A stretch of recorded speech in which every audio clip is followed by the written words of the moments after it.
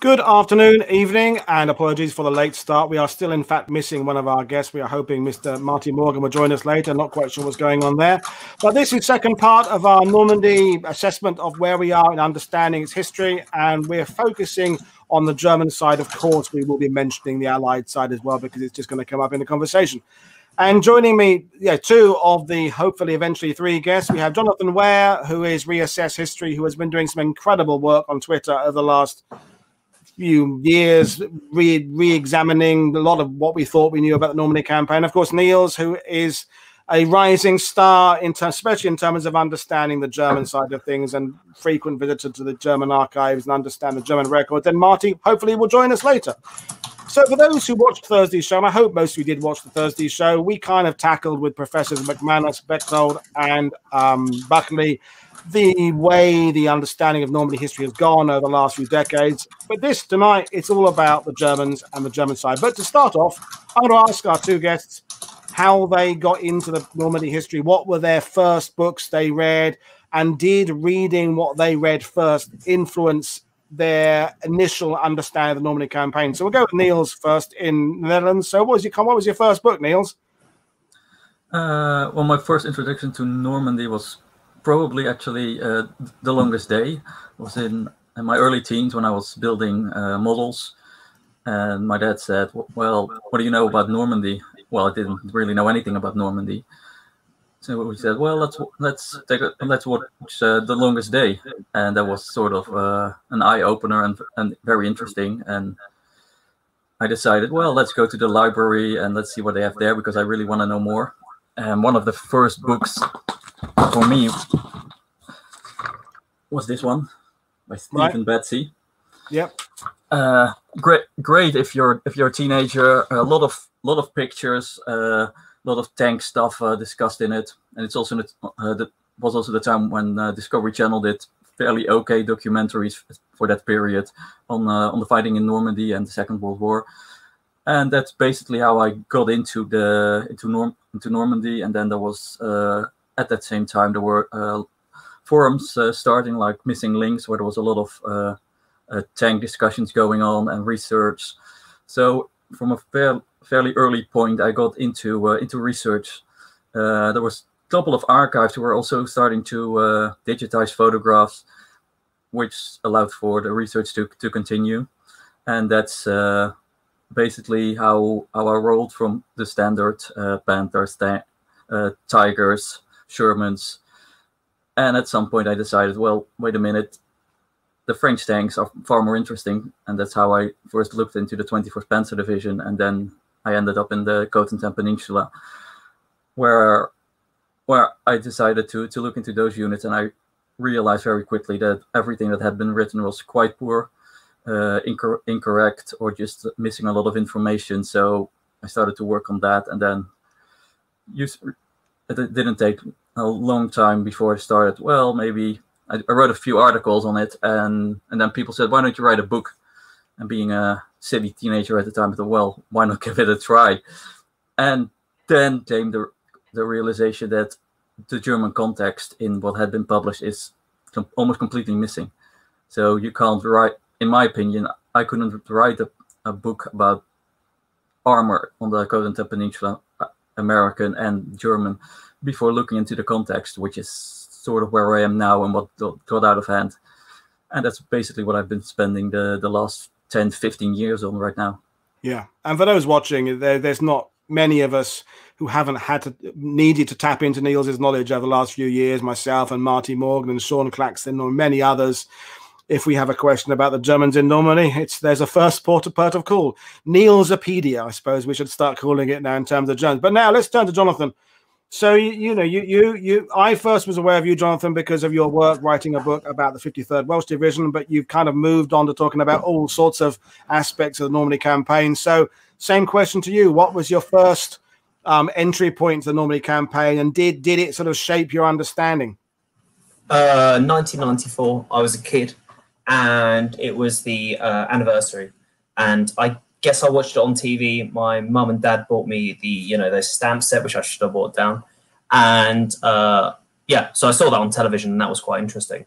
and I was like, "Oh, this is really cool. This is really big." And I was six in '94, um, and I thought this, you know, interesting. I didn't like guns and tanks and stuff as a kid, really. Strangely enough, um, I liked RAF stuff as a teenager.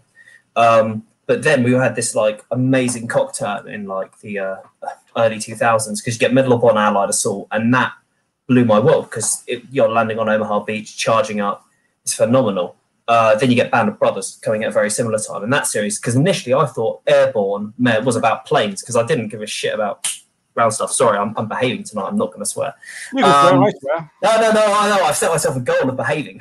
Uh, okay. And uh, yeah, um, and uh, I saw Band Brothers. I thought this is phenomenal because I wanted to watch this stuff about planes, but this ground stuff. What the hell is this? They've got like blood jumping out planes. This is crazy stuff. Um, same Private Ryan as well uh, later on. Um, but then again, like Bridge Too Far, I'm I'm 33. Uh, that was old hat before I got into this. Although the film I really enjoyed. Um, Call of Duty World War II, Sudden Strike, those sort of games uh, really got me into it. And then um, tabletop gaming like Flames of War. The source books for Flames of War used to be one of the most accessible ways into the Second World War as a whole, because you'd get your company level organizations, a good chunk of history, scenarios, models, company level boxes. It was really good. I don't think it is good anymore, though. I think they've jumped the shark a bit for various reasons. Um, but that's how I sort of got into it. And then when I went to university, a mate of mine, John Evans, said to me, Did you know there was a Welsh division? I was like, No. So I Googled it and got three results. And then I went a bit mad and then at some point, I decided to be interesting at a party, and I'm like, you know what? Uh, they, said to me, so, so what do you do then? And I'm like, I'm uh, uh, I'm writing a book on the Welsh division in the Second World War. Yeah, totally doing that, and that's how that sort of started. Which I would not recommend to most people as a career choice because it should be considered on some level. But that's what happened, and the more you dug at that sort of, it's a ball of string. You throw the ball of string, you start following it, you start finding more and more unravels about what you know and you discover more and more along the way, which is really, really interesting. Because uh, Niels and I come from a younger demographic. Uh, most of our exposure would have been through gaming. Um, and then book wise, uh, I guess it was uh, Ambrose Pegasus Bridge was the first thing I read. But again, I, I really care about the planes for many years. I didn't mm. care about ground stuff until I realized no one wrote about it. So. And interesting, folks, that we have our War Games show tomorrow night where we are talking about the, the role of games in people understanding history and where they they they get their history from. And you know, we had the comic shows, and you I'm a comics and war films guy. Gaming was kind of around when I was a kid, but Escape to Colditz board game. Um, there was a Night Fighters game for the ZX Spectrum that was very slow and clunky, but it was uh, it was some kind of night gunner thing. But anyway, we're here to talk about the Germans in Normandy. So the first point, I've we have got some topics we're going to go through tonight, folks, and hopefully Marty will join us and, and add to it. But my the first point is is that the old cliche of the victors write the histories is absolutely true with regards to World War II to some extent. And the initial books, we discussed the same thing on Thursday, that were written about the Normandy campaign, where they were written particularly for the veterans, the families of those who'd served. They're written for a kind of a, a grateful public who had just seen the you know, the war come to an end and rationing end and cities being built. And the first question is at that time, did anybody really care about the German sides? Were they were they just a faceless enemy that everything was about our troops did this, we destroyed this, we pushed through there, we killed these Germans here, we killed these Germans there. And at that time, did anyone actually care about the German side? So that's the that's the yeah, the first point where I'm gonna I'm gonna make there um, about just the the the the lack of interest. And then when the German stuff is mentioned, in these early accounts, it's often wrong. Niels, I want you to bring in and mention this idea about the average age. It's a very good point you made, um, and for the people watching. So, talk talk about the the the, the point you found out. Uh, well, there's uh, quite a few stories uh, that are very popular still today. Um, you mentioned a lot. Uh, one of the things is the the 36 as the average age, for instance, in the 709th uh, Infantry Division, which defended Utah Beach, uh, but also uh, all the stories and, and mentions of the, the stomach units and the ear units where Germans gathered yeah, troops with, with stomach ailments or and poor hearing. And a lot of that goes back to a single book. Cross-channel attack, which it was written in 1951, and it's actually a commendable book. It's it's still very interesting. Uh, it made a very serious effort in uh, getting an understanding for the German side of it, but of course, this was not their primary objectives. And it gets some things right and it gets some things wrong. And these two things are uh, two of the things they one, one they get really wrong, and the other one is questionable. Uh, to start with the stomach units, the book sort of suggests that there were all over in divisions. Actually, there was only one division which didn't exist yet on D-Day, but it's still being told, and this is exactly how myths about the German troops in Normandy are continued to be told, and it has very little to do with reality. And it's mentioned in a book from 1951, published in 1952, I think. And when you look at the age of the 709th Infantry Division, this 36 is mentioned already in this book. And when you look at the source material they use, it's a single account from a German officer. And it's part of sort of an excuse, well, explanation of why their division failed to uh, hold Cherbourg. And then blaming it on the age of your troops is, uh, of course, one of the reasons that you say, well, our, our troops were very poor. And still, this, this, this 36 has taken on a life of its own. You see it mentioned in every single generation of books that has been published since that time. It, it's in the most recent books. It has been published in the, the 60s, the 70s, the 80s, the 90s, the zeros, and also um, the most recent books. And when you look at it and you look at the division itself, you think, well, it was 30 plus, which is basically quite normal for no for Normandy and, and actually for the entire German army at the time. But 36 is just unlikely actually, but it's still being repeated. and it's not questioned. It's just assumed to be true, and that's I think a, uh, a big problem for a lot of what's written about the Germans. A lot of it is based on what has been written before and assumed that those authors did their research properly, but they didn't. Yeah. I mean, and that's that's what we're going to explore tonight is the fact that a myth about the German side is likely to take root and hold easier and for longer than a myth about the Allied side because of the people who are reading the books. If in those early books in the 50s and 60s, Cornelius Ryan had got the average age wrong in an Allied division, I'm sure people would have written in, wouldn't they? They'd have said, hang on, we, they weren't all that uh, age, I was there. But from the German side, less Germans reading, less less less books available in German language.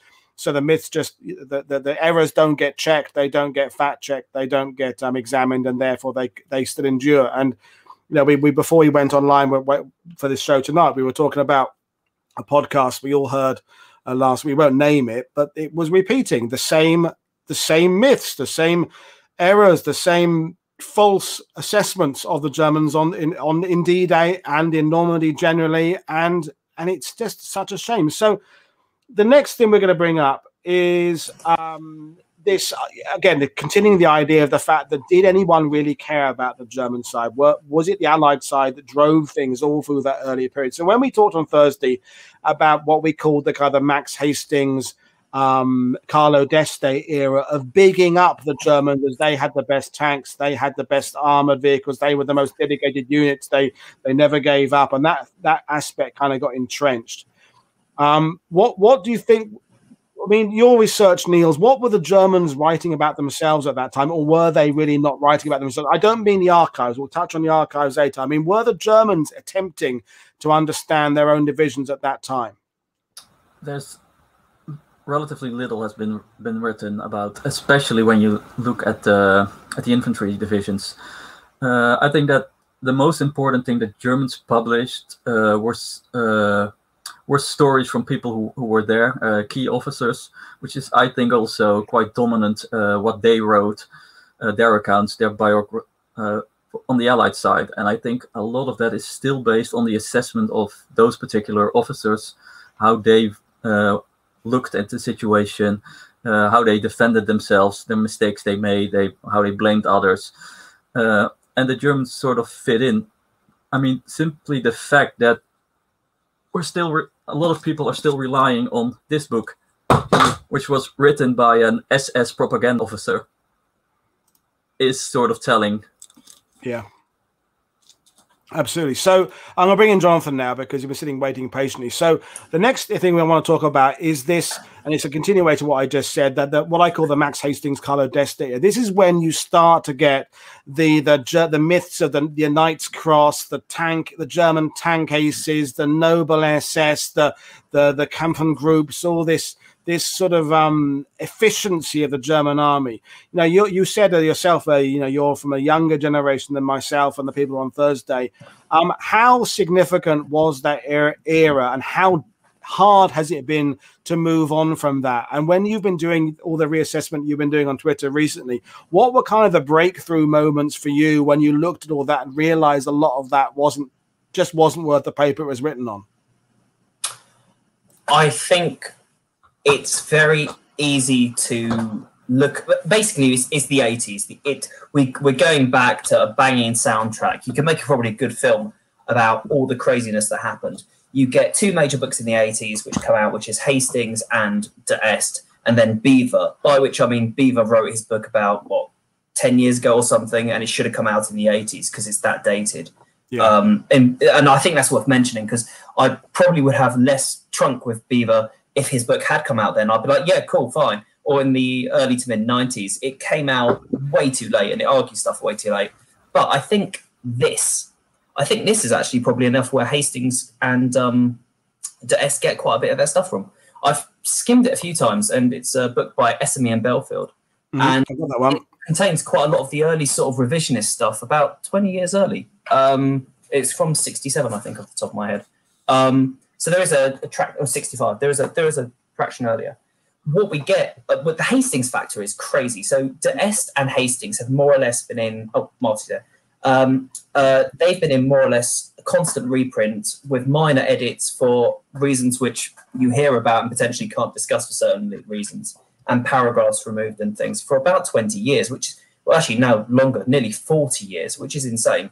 And they're constantly updated given really spicy uh, covers, lovely production, and you think it's a new book. You're actually reading something which has been discredited quite a long time ago.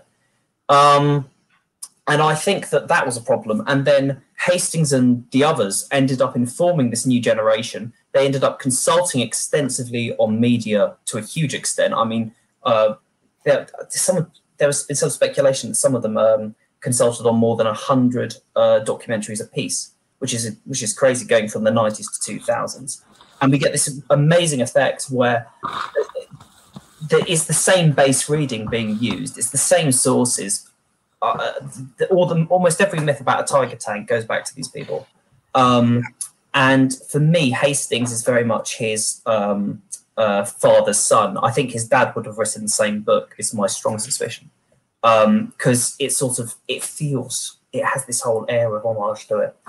Um, and try, yeah, trying to break it's a huge problem because those books in the 80s were effectively unchallenged until the early 2000s.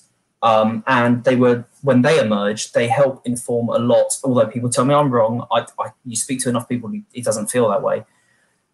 We we know that by that point, Hastings was, as discussed the other night, closely integrated into the British Army's establishment's thinking structures. He's learning from them. They're discussing ideas. Um, von, I don't think von Luck's memoir would have ever gained gone anywhere if he wasn't endorsed by the British Army and NATO to the extent he was, frankly, because uh, as discussed, a lot of it's bollocks.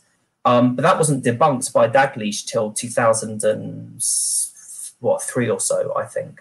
So it takes a very long time to debunk, and it's uh, when we get to archives later on, I'll cover why it's harder to debunk than it is to make some, something up.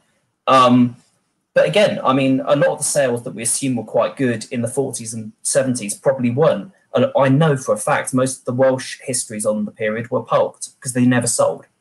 Um, so there's and there's also a, a, tendency, like the Welsh divisional history only has 11 pages on Normandy, um, wow. with most of the battle summed up in about five of that. So they write longer about Northern Ireland, and there's there is a lot of formations trying not to write about things, um, and it could be because your divisional commander dies young, or doesn't want to talk about things, or people leave the military, and especially the first 20 years after the war, don't want to chat about it too much. Um, but it's sort of this a perfect storm of problems. But then trying to unravel it, that means we have to go back to the archives, and that's probably going to come out later. Yeah, well, definitely. Well, well, let's let's welcome Marty. Uh, good evening, Marty. I'm glad you're here. Um, and we were just filling in and waiting until we got here. Really, we've just been talking about the weather, really. No, but um, I want to bring in you because you know people are familiar with you. You've been on World War II TV shows before, but we basically just introduced where we where we first got our understanding of Normandy from. So, kind of over to you, Marty. What was the first thing you read about the Battle of Normandy? And being truthful, how much did that influence your thinking, and for how long did it influence it? All right, brace yourselves because this is going to be bad. Okay. Stephen Ambrose. Yeah, I knew that was coming. Hey, I knew that was coming. Right, that's that train's never late. I was a graduate student in uh, from uh, a graduate student in history from 1991 until 1996 when I completed my master's program. And if you think about the Ambrose books that came out during that time period, there's they're basically the three big ones as it relates to his World War II writings, and that would be Band of Brothers was first, then D Day, the climactic battle of World War II, followed, of course, by Citizen Soldier. Those all came out when I was living the experience of a graduate student. And they, at the time, I remember the feeling, they felt timely, they felt new, they felt fresh. And I look back on all of them and I cringe now. When I to think the the way that I consumed those writings and accepted them as as being uh, a contemporary orthodoxy, understanding not just the broader picture of World War II, but specifically the German side, because I believe Jonathan was just commenting about this in a, in a very educated way, more so than I can. But the I remember when the Ambrose books came out, it felt fresh and new because finally it felt like we were getting the German perspective in a fresh and new way. Try not to roll your eyes when I say that but I remember reading them and thinking, hey, wow, I'm really now beginning to get an insight into the German perspective on D Day, for example. And in retrospect, now uh, I, I, believe that the insights offered in the Ambrose books were definitely not fresh and new, but rather just retellings of old mythologized narratives that had their origins in the 60s and 70s. Yeah, absolutely. And we had a question coming earlier about the the original um, the German memoirs that came out, the generals, you know, and the, the, the people part of the Third Reich. And I'm and my first comment on that, of course, is most senior German officers were very much that had survived, by the way, were thinking about their own asses in 1945 and whether or not they were going to get caught up in war crimes and this, that, and the other. And there was lots of shifting of the blame for errors to anybody else that wasn't them.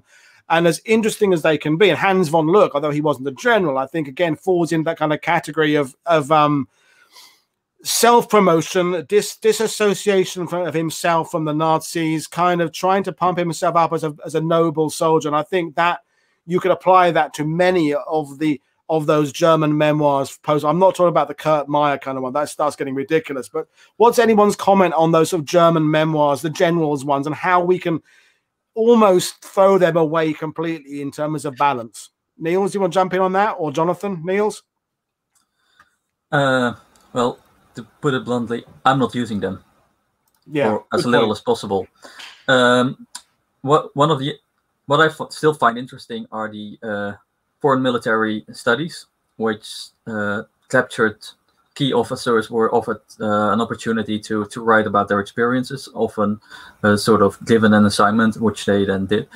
Uh, those already show that problem, but they were written. Most of them were written within five years of the war, so it's sort of fresh. Uh, the guys, uh, the, the, officers are, are still in the prisoner of war camps, and they're interesting because of the time they were written, and some things are absolutely relevant, and you can cross-check with with other records and other things is just opinion and blame game and stuff like that.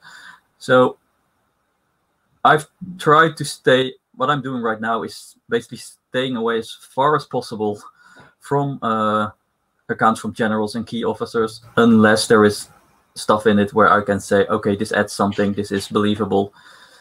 But but their self promotion is just something that, yeah, a lot of what they have written is just useless.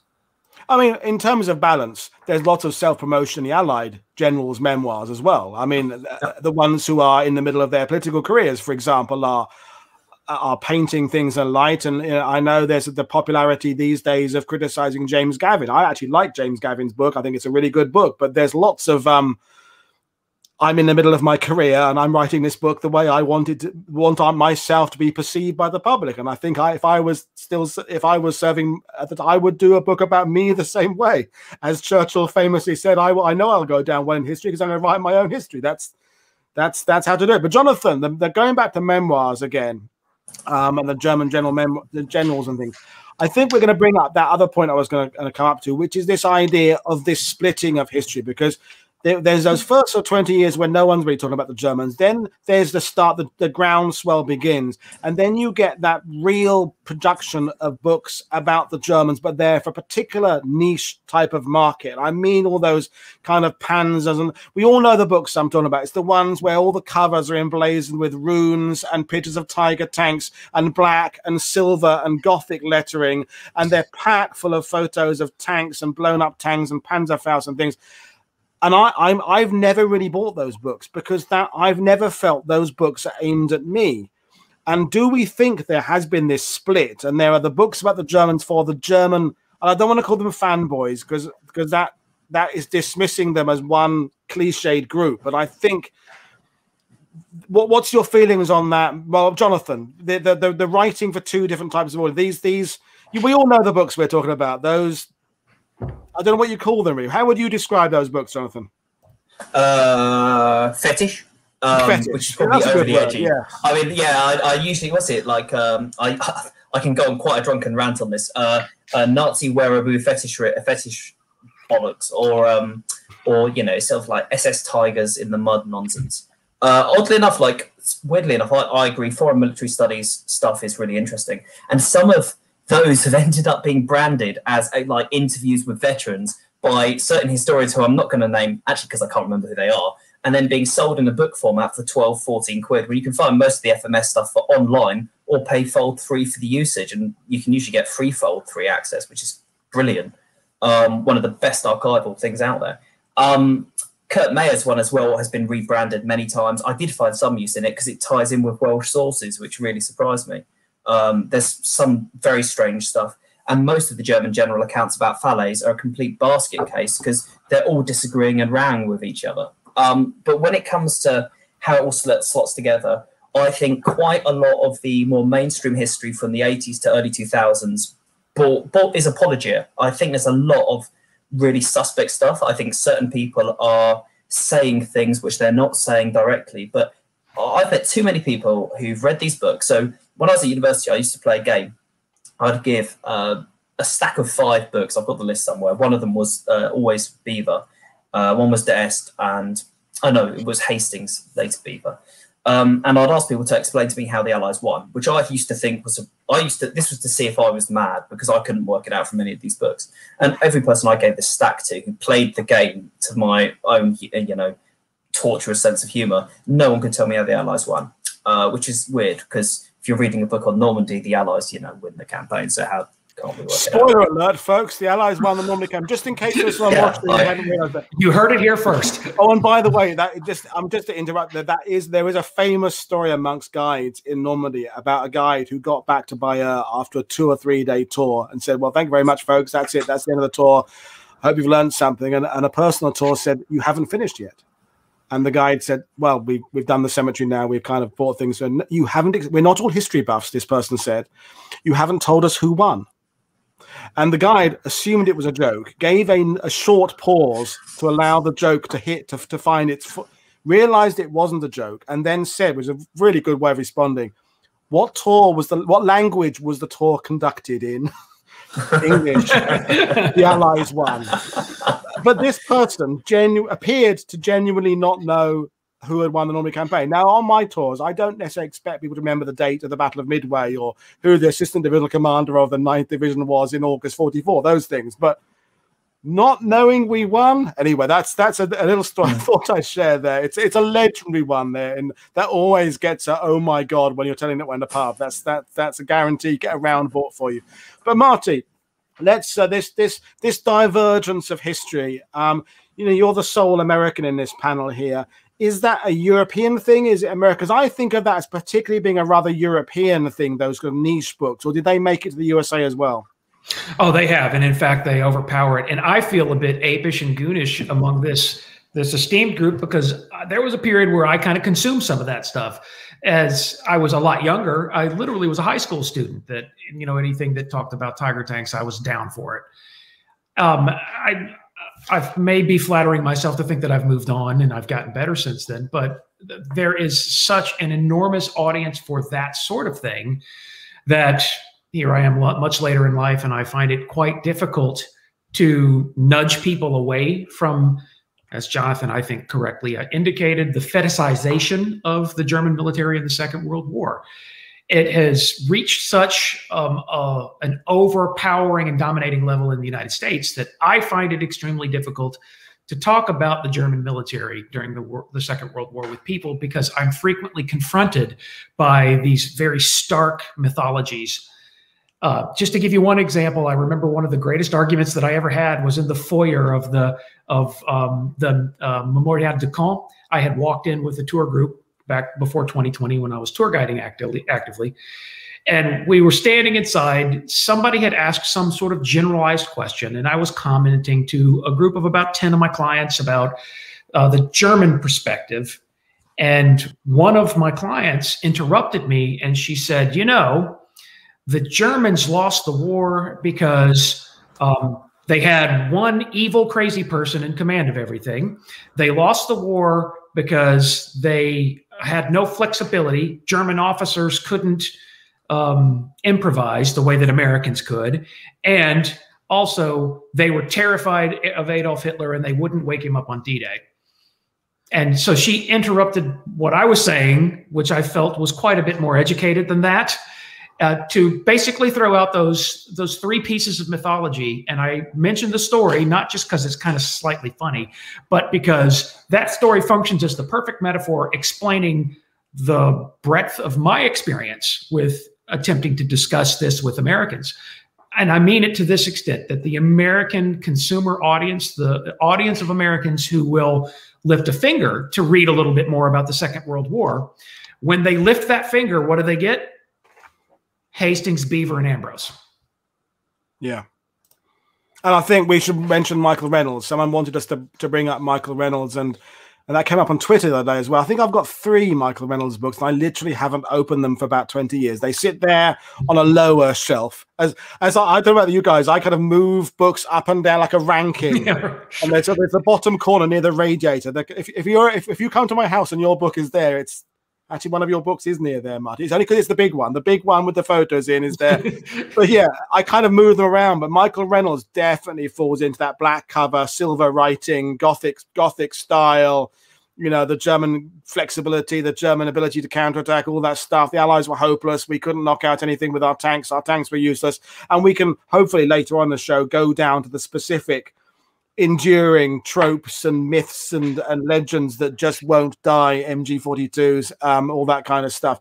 But um you know we're at this point where we're we're talking about this sort of splitting of the normandy history of the german history but i think it's time now to kind of be more positive a bit of the conversation talk about what there actually is out there in terms of the german archives and why they have been not used as much as they can. And the first point i think i'm going to make is clearly language I don't speak any German. I can recognize certain German words in German documentation, but my experience of the German archives I've got is they're very technical, very wordy, using language that's not easy to kind of understand. A 2020, it's not conversational German. It's very the words. I mean, they'd, they'd be great Scrabble scores. You get them on a, on, a, on a triple X, you know, where it's a triple what you get great scores. So Niels, tell tell us a little bit about your journey of beginning to get into the German archives and how you began to find stuff and what there is available there, and and and and yeah, enlighten us.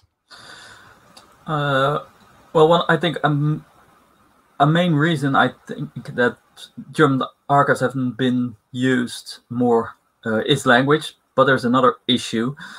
I think it's also because for a lot of units there are no records left so if you're looking purely from a campaign point of view, it's very difficult for a lot of units and a lot of parts of the campaign to actually find units uh, reports. So you need to go up a level. You need to go to Army Corps level. And in my case, I'm looking, uh, the sector I'm looking for is the 84th Army Corps. And their records for 1944 are mostly gone. so th- there's that uh, complicating factor. So then you uh, move up one more level, and you end up at Seventh Army level. Now there are their records. Uh, a lot of them survived. I believe uh, their war journal has been translated into English and is available sort of at the Imperial War Museum. Uh, I've not used it myself because I use the uh, German original. Uh, so that's a good place to start if you want to uh, get an understanding of how they were uh, experiencing things, and then you can move up another level to Army Group B and Army Group G, OB West. Uh, so that's sort of how, how you can build uh, a framework and then you can start to look into uh, more specifically into units. And the fun bit is a lot of it is already uh, available uh, on online. Internet access is to an extent sufficient to, to do a lot of research at, in this day and age. A lot of uh, German microfilms uh, were made at the National Archives in the United States. Uh, you can order them. a lot. There's a, an entire community sharing these and this is a great way to get an understanding of uh, what was going on. Now, if you want to go even want to go the other way, you want to go deep into certain units, then uh, you get uh, at a point where you need to go to the archives because uh, the German archives, uh, not everything has been digitized. Uh, they're, they're, doing a great job digitizing stuff. For instance, they have digitized almost the entire archives of the General der Panzertruppen. So a lot of armored material is freely available online right now. Uh, it's a mess to work through, but that but it, it's it is there. Uh, but if you want to look into individual units, you still have to go to, to the archives and and see how far you want to take it. Uh, because if you also there's a lot of material actually available in in the English language. If you go to uh, unit uh, allied uh, records, uh, intelligence. There's a lot of material they discovered. Uh, they, they shared among units. A lot of it is available, readily available online. Various archives have have these available. G G2 studies, reports, uh, S2 reports in the American sector, which I'm studying. a lot of material actually is available, but it's a, a, lot of effort to gather everything. And if you need to be really, really into it to re- and be able and willing to spend the time to do so, which is also one of the reasons I'm doing my book project to to do this work so other people don't have to, and they can use hopefully my work to to have solid understanding without having to do all this work over again themselves, because like I said, a lot of myths are repeated from from books that have been written in English for decades, just because there is no German alternative good German campaign books about the uh, Normandy, I, I really can't think of any. When, when, and when you say it as bluntly as that, that is staggering. I mean, I mean, I, I, mean, I, if I was to take, for example, I mean, I've not only have I got a 101st Airborne shelf, I've got a 506 shelf because of just the amount of stuff, and I've got a Easy Company shelf beyond that as well, and a shelf on 82nd Airborne. I've got a shelf on the British Army in Normandy. So, same amount of books on the British Army in Normandy I have on one regiment of one division. My German shelf, which is the Germans in entire of the war, is one shelf. So, and I think some of them are French books. But anyway, if we now accept that there are there is access to German archives and there is information out there, the next pertinent question I think is if it's there, why aren't historians using it more? And is the answer to that question is because the audience don't really care and the audience will just accept everything they get presented to them anyway. So why bother to go there? Why bother to go to Germany? Why bother to learn German? Why bother to do it if whatever you say about the Germans is going to be either ignored or taken completely on without checking by the authors? What's what's the incentive for the historian to do it unless the historian really cares? This is maybe a, a, more complicated question, but you, Jonathan, I'm going to bring it to you and then bring it to Martin in a second it is fair to say your tweets over the last few months have been absolutely extraordinary. People like Mike Bechthold sending messages to me saying, you know, who is this guy and how is he able to, in a few tweets, take stuff we've been thinking about for 20 years and boil it down and make all these incredible points. So, um, what's your what's your take on this general reluctance by many mainstream historians to access the German side of things? I'm going to take a dramatic breath and think uh, think about that for a second. And by the way, I've, I've known the, these questions are coming, and I'm, I'm always curious not to upset anyone with my answer. Generally, uh, I'm playing nice. I'm playing nice. You're playing very um, nice. Yeah. So I think actually it's a bit of a weird one. So, what, one of uh, when I was researching the Welsh division, I wanted to know who they were fighting against. And uh, by the way, if you saw my bookcases of shame and my good ones, you'll see loads of weird German shit in there. Like I've already been naughty, but um, lo- there's loads of uh, esoteric texts. Uh, I go to cha- uh, charity shops, car boots, uh, you name it, and I pick up anything I find cheap. Which, and I've, there's even some privately published stuff by truly bizarre people um, because I'm looking for different takes the whole time and then trying to trace it back because I want to know more about the Germans in Normandy. And the best unit I found about is 277th Infantry Division, who've got two damn good books by Wingolf Scherer on them. And they have some diaries in them. There's a lot of quite a bit of photographs in the Normandy one, and they explore the German soldier from the ground up. Now, my German at school was better than my French, and then actually, I believe it's easier to learn World War II German because the technical language is a language one has to learn just to understand the documents. And you can actually follow quite a bit through just with the technical language, um, potentially easier than some of the British stuff at times. Uh, there are lots more Germanists emerging, but they're, they're in different fields. There's loads of Germanists, uh, loads of Brits and Americans in Holocaust studies and stuff. And I've, I now have a question about how Normandy fits into the genocide state and the, the overall war of genocide. And then on the Allied side, how interwar uh, colonial actions figure into how we're fighting a war generally. And you start developing these bigger t- thoughts and talking to more people. But to get to the point, uh, which is always risky, why don't people do it? Um, this is going to come to archives more pointedly, but I think cost is a huge factor. Victoria Taylor's doing loads in German archives for her stuff uh, on uh, uh the Luftwaffe, and I'm really curious where that goes. I'm I, I, am massively fascinated by the Luftwaffe in Normandy because no one talks about it. And it's a huge point. Where are the Luftwaffe in Normandy? Um, they're there, but no one talks about it. And I'm convinced the Air Power Brigade don't want to talk about it for modern defence reasons, frankly. So if you're listening, you know where I stand on that one. Um, and but then again, I mean, there's some crazy stuff. So 277 Infantry have two books about it. And then there's at least a third one by the divisional commander's granddaughter, who's arguing against her to defend her grandfather's war record, which I've not read because it's quite hard to get hold of. And it's hard to get hold of German history. You have to know what you're searching for. It's rarely translated to English. And we also know that on the continent, continental publishers have an easier time with image rights um, generally. Um, actually, this due to the EU copyright directive and stuff. And there seems to be a lot more support and grassroots enthusiasm for these sort of projects. So you're probably guaranteed to sell a lot of it. I mean, I remember being in Normandy and seeing books in French on topics about Normandy you would never see republished in English because the market interest wasn't there or it was too niche, uh, which I thought was really bizarre because, you know, why is it not in English? So you may get them in French and other languages, but not necessarily R1. Um, then again, it also comes back to access now, I know, again, they may be listening, there are certain German historians who have had access to German veterans associations and have been blocking access for other historians to have access to them. And if you are listening, you're a bad person, frankly, because all you're doing is mm. you're just killing discourse. Um, and I do think there is, we get onto the question of politics, we get onto the question of war crimes, and we get onto questions of the SS quite quickly and modern apologia uh, by certain historians. Um, so if we're not looking at that those records, you can put other stuff in. Now, what I thought was fascinating as well was in Beevor, Beevor mistranslates or misrepresents. It depends which way you want to take it. Some German accounts quite badly regarding artillery. Um, and because I sought out the original German, and I thought this is this is not representative of this source. It's a very carefully edited chunk. And then the problem was, loads of historians did want more German stuff. By the time we're getting to the year 2000s, we're, we're thirsty for it. Now, that's why the British Army in the 80s and 70s and stuff was inviting German veterans on to talk and give their experience to the British Army. Um, and I do think there was a, a lot of a lot of what went wrong. It starts with this war studies attitude and military desire to focus and cherry pick parts of the campaign.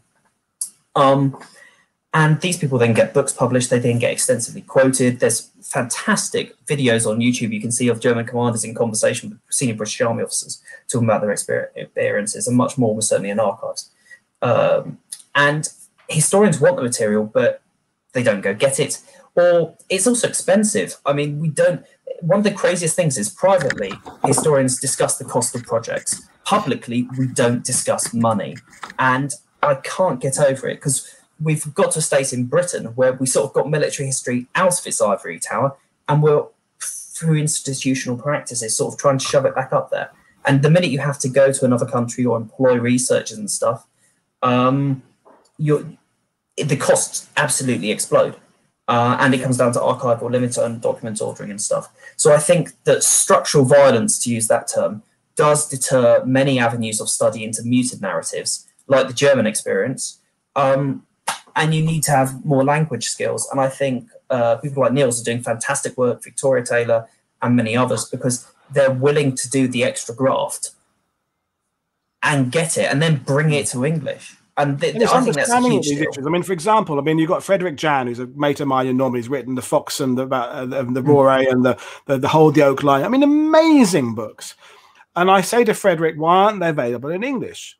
And he says, because under French law, I mean, I'm, I'm doing a shortened version. Under French law, if he pays someone to be the to translate it into English properly, that person is entitled to 50% of all the future sales of books because they become a co-author. Hmm. Which means he lose he, he effectively loses money. To put the book in English, he would not just not make any money, he'd lose money. Hmm. So it stays in French. If he did it himself, and he's he can speak English, but he just hasn't got the ability to put it into into proper understood understandable English.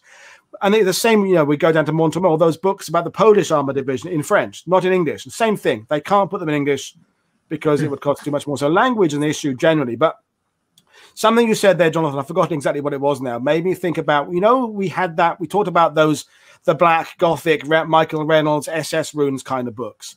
The trend these days in France is to go the other way for the for fear of presenting yourself as some kind of Nazi apologist, sort of um, Third Reich fanatic. So now books that have Allied and German content tend to come out with the, the British helmet on the cover and a Cromwell or a, or a Churchill for the opposite reason. So, it, like we talked about on Thursday, there's those things swinging back both ways. There was the kind of pro-Nazi fetish here, which I think is kind of maybe on the way out slightly. Although social media, we'll bring up that in a minute, is pushing up in that regard there, and the books are maybe now going towards the. Actually, you know what? The Allies are pretty good in Normandy. Um, but this, I want to bring Marty in now about this this understanding of the German point of view and the question. You know, you've taken thousands of Americans through Normandy as I have. Do do most of our customers, do most of the readers actually care? That's I, I want a kind of a yes or no from you, Marty, about do they really care about what the German point of view is? No, in a word. I have found overwhelmingly that my experience in tour guiding for almost 20 years has been one that uh, my customer base expects me to tell stories of heroism and sacrifice relating to the Americans. And that if I begin opening my mouth about the German perspective, it's sudden. I can see them not only sort of disengage and lose interest, I have also dealt with backlash from that. There was a point where uh, in a tour in Normandy. I think Paul, you'll like this story because I think you knew Hal Baumgarten too. I did, yeah, I love yeah, Hal. yeah, yeah. Hal was a lovely human being, and I would, um, I, I traveled with Dr. Baumgarten several times, and um, in Normandy, we were frequently on the N13 passing Cambe, and so we would stop at the German cemetery. And you know what happens when you stop at Cambe, and that you got to go to Wittmann's grave and you got to tell that story. And they're the sort of standard stations of the cross in terms of interpreting the history of that cemetery. And there was a trip where I had Dr. Baumgarten, his wife, and his daughter on the bus, in addition to about 30 clients. And we had time. We were on the N13, and I said, let's just stop at the German cemetery. I had even had some people ask me for it. 30 minutes later, by the time I was wiggling us uh, out of the cemetery, I had people accusing me of being a Nazi sympathizer because I took them there. Um, that included Dr. Baumgarten's daughter and wife, to the point where I had people um, in my face asking me, uh, "How could you dare to bring a world, an American World War II veteran, to this place around these disgusting people that shoved people in ovens?" And I got Wow. I got ganged up on to the extent to where I was just like, I need to drop this subject. I wanted to take them on. I wanted to, to duel about this, but I was just not in that position. And I kind of just had to go, all right, well, that was an unfortunate incident that happened. It's time to move on.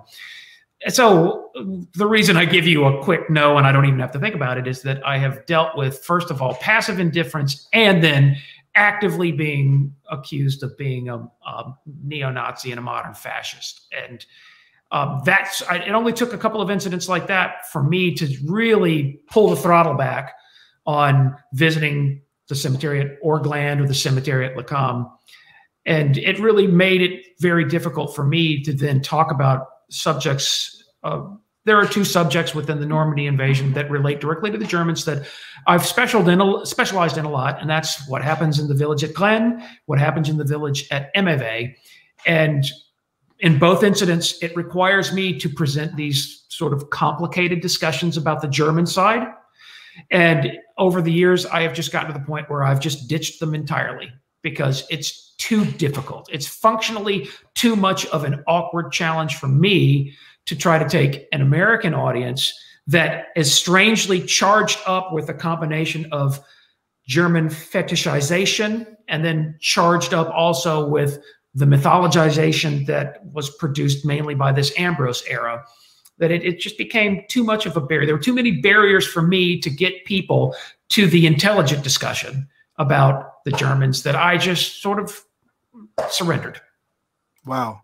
And given that the original purpose of this these two shows was to understand where we are today, 2021, in our understanding of the Normandy campaign, if we're stuck where our audience doesn't even want to hear the German side, then we're not getting anywhere. We're not moving forward, are we? I mean, I tried an experiment a couple of years ago with, with the late Jules Vernon, who, who, who died a few years ago, because he was very interested in the um the the area of the 83rd Division, American Division, down near Méautis and Saint-Denis and those areas there, where you get the, the Fallschirmjäger kind of cut off in Sèves Island there. We had the idea uh, because there was no fixed kind of lines there, it wasn't like it was a beach and defenders. We we had the idea of doing a tour where we talk about Force A and Force B without telling our customers which is which force. Hmm. And we did we did it once, but every two minutes people go saying, "Are these Americans or Germans?" Said, "Look, we're trying something here. We're trying to tell you a story without you."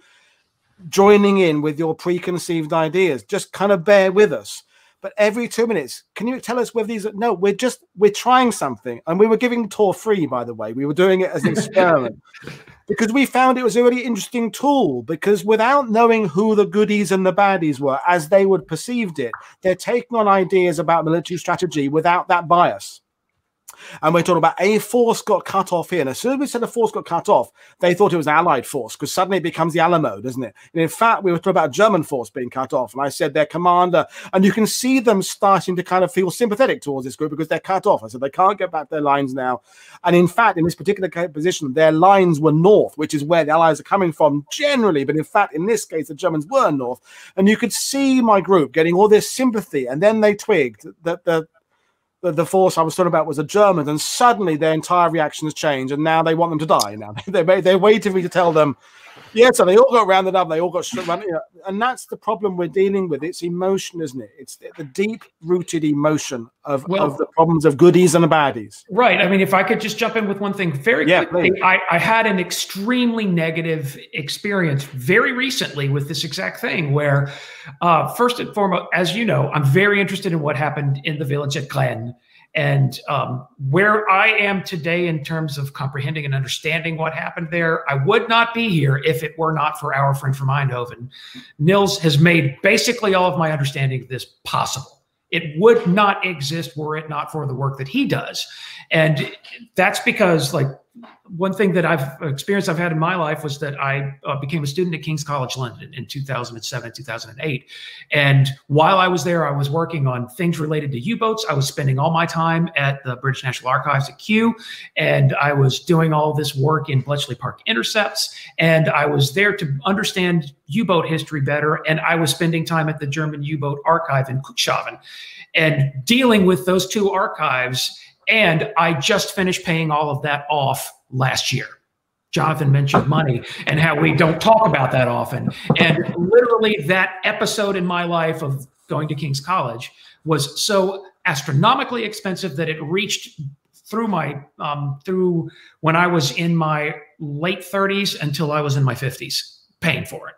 And so that's that's kind of a significant factor here, which is why I say for someone in the on the North American content to try to reach into this history, it, it's extraordinarily, I think, more difficult, especially when you consider language skills and the fact that German language is not something that's typically offered to Americans.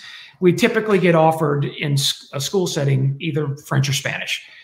But you know, now on to the juicy story. I, in attempting to understand this battle at Graignes, with a great deal of help, with absolutely critical help from our friend in Eindhoven, I'm reaching a certain um, a conclusion that I, Paul, you've heard me mention it, I think, and that is that um, it has been understood through the folklore at all times that at the end of the battle at Graignes, that the Germans executed uh, about 21 people.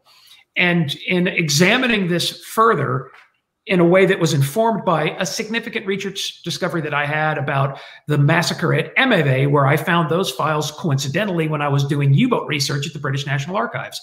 Um, I found that, and I know now a lot about the way that the US Army investigated war crimes in Normandy. And then I, um, as I continued to learn more about Graignes, thanks to Niels, I began to notice something was painfully absent, and that there's there's no war crimes investigation, and that basically the entire narrative of the you know these these sickening villains from the the 37th Panzer Grenadier Regiment dragged these people out and shamelessly murdered them. I'm finding no evidence of that, and there was certainly no American war crimes investigation of this. I'm not prepared to go the German to announce that the Germans didn't carry out an atrocity there, but in a recent, basically, discussion on Facebook with a certain historian specializing in the 101st Airborne Division, I made a couple of points. One was which, one of which was I find absolutely no American investigation of an atrocity or a war crime at Graignes. And the only accounts that established the war crime narrative were from French civilians who did not eyewitness and could not have eyewitnessed what happened to these men. And with just me saying that, I produced in this historian such a violent overreaction that it caught me by complete surprise to see that someone who has like me kind of spent an entire lifetime interested in this subject and has enjoyed learning more about it with each passing year. I saw this person um, dismiss me as foolish and stupid for even breathing this word of possibility um, without even me stating the conclusion, uh, just by stating no evidence of an investigation. The, the eyewitness accounts are people that did not witness and could not have witnessed an atrocity. And that I'm, I'm tagging the story into this discussion because it is exactly what you just said. It's an, an emotional overreaction. Like, how dare you challenge my preconceived notion of the 17th SS as a batch of murderers? And I have absolutely no idea who you're talking about there. Please bear I know exactly who you're talking about there. Yeah. Um, no, but this and this is the the interesting thing about this.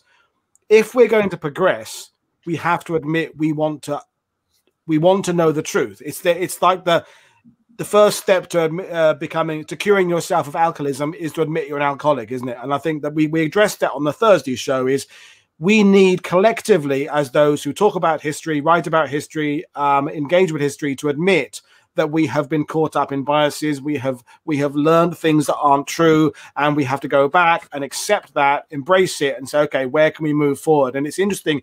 Just in the time it after I announced this show to hosting this show, there was a discussion on Twitter two days ago about two two new books coming out this year about the 12th SS Division in Normandy, and both appear to kind of are playing into the runes all over the cover, tanks, tigers, eh, black, silver. Uh, fanatics, Hitler's young boys, dying for the Fuhrer, elite, you know, the, the same old, same old, same old.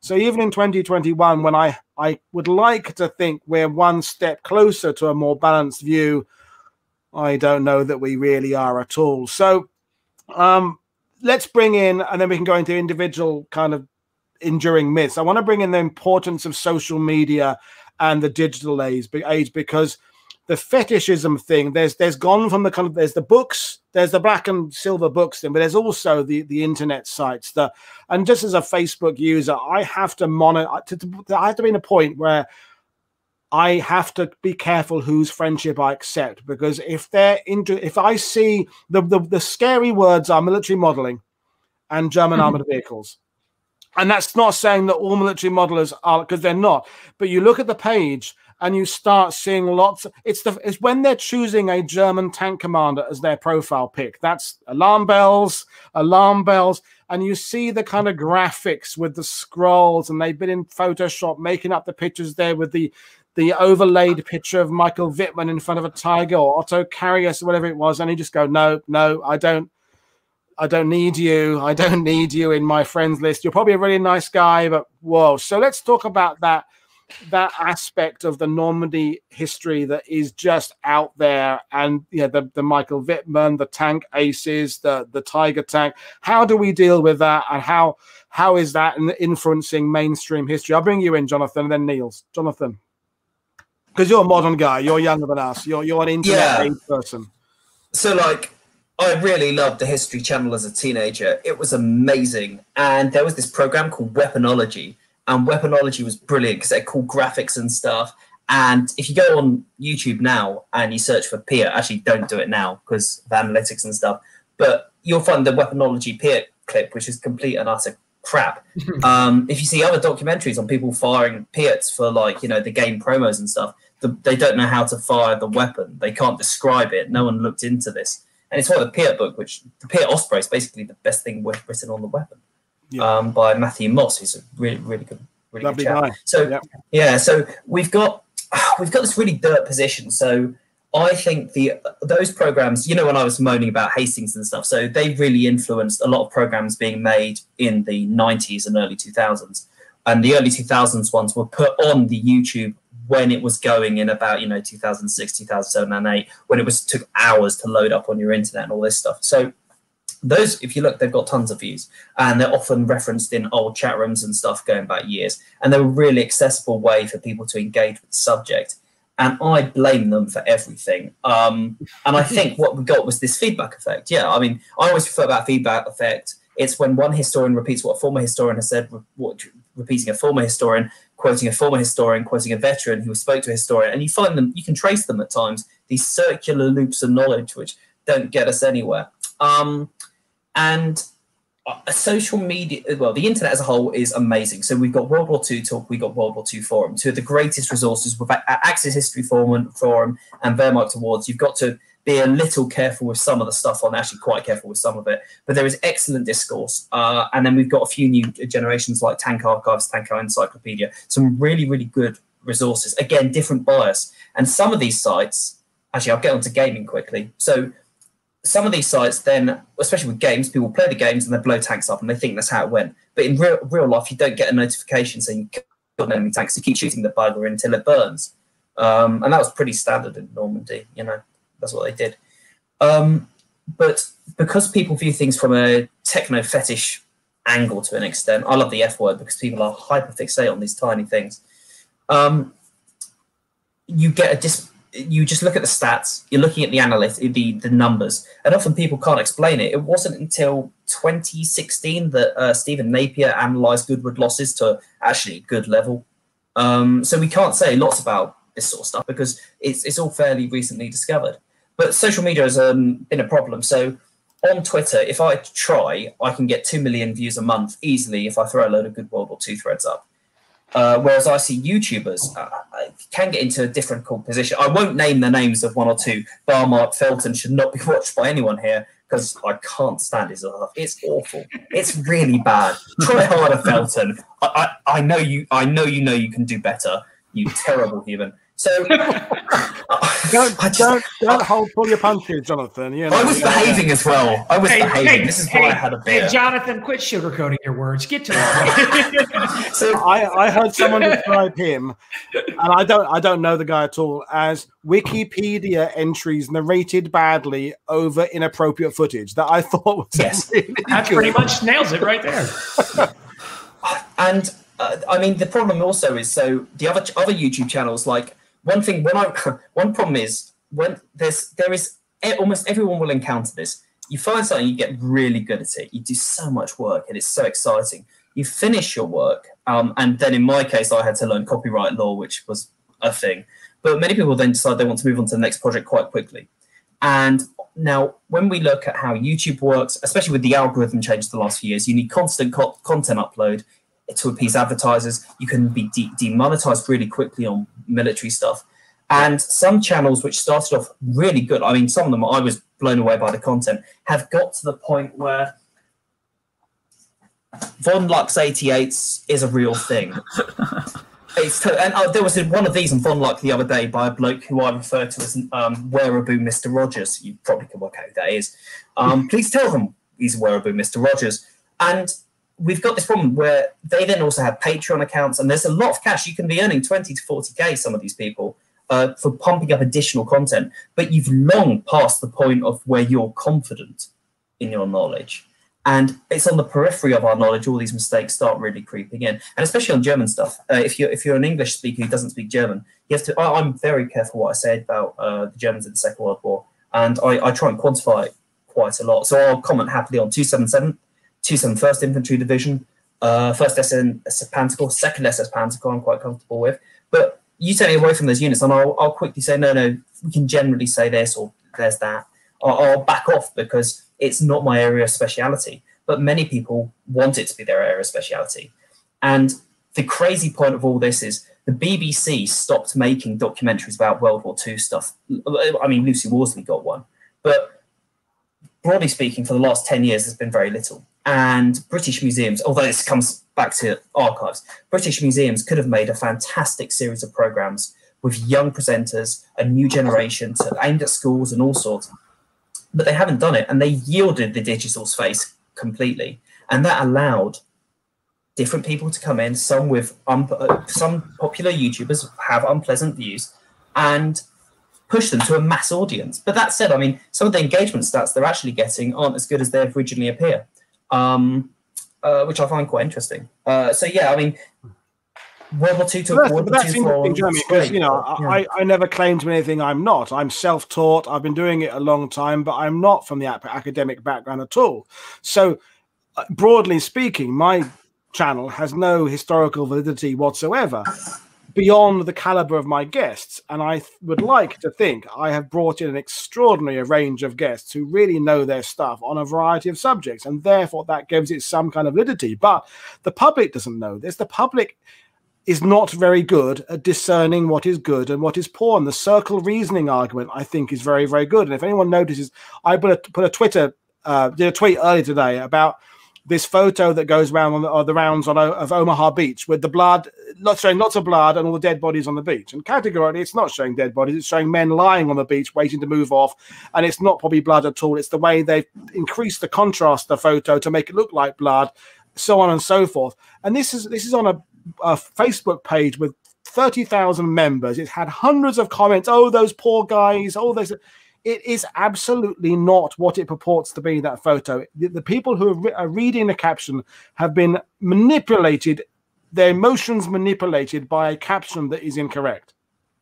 And when I started pointing out and I wasn't actually saying it was wrong. What I was saying was use your critical skills to look at that photo and examine when it was taken. How much sand is there in the photo? What type of vessels are we seeing in the photo? Because if you ask answer those questions, you'll determine yourself when that photo was taken.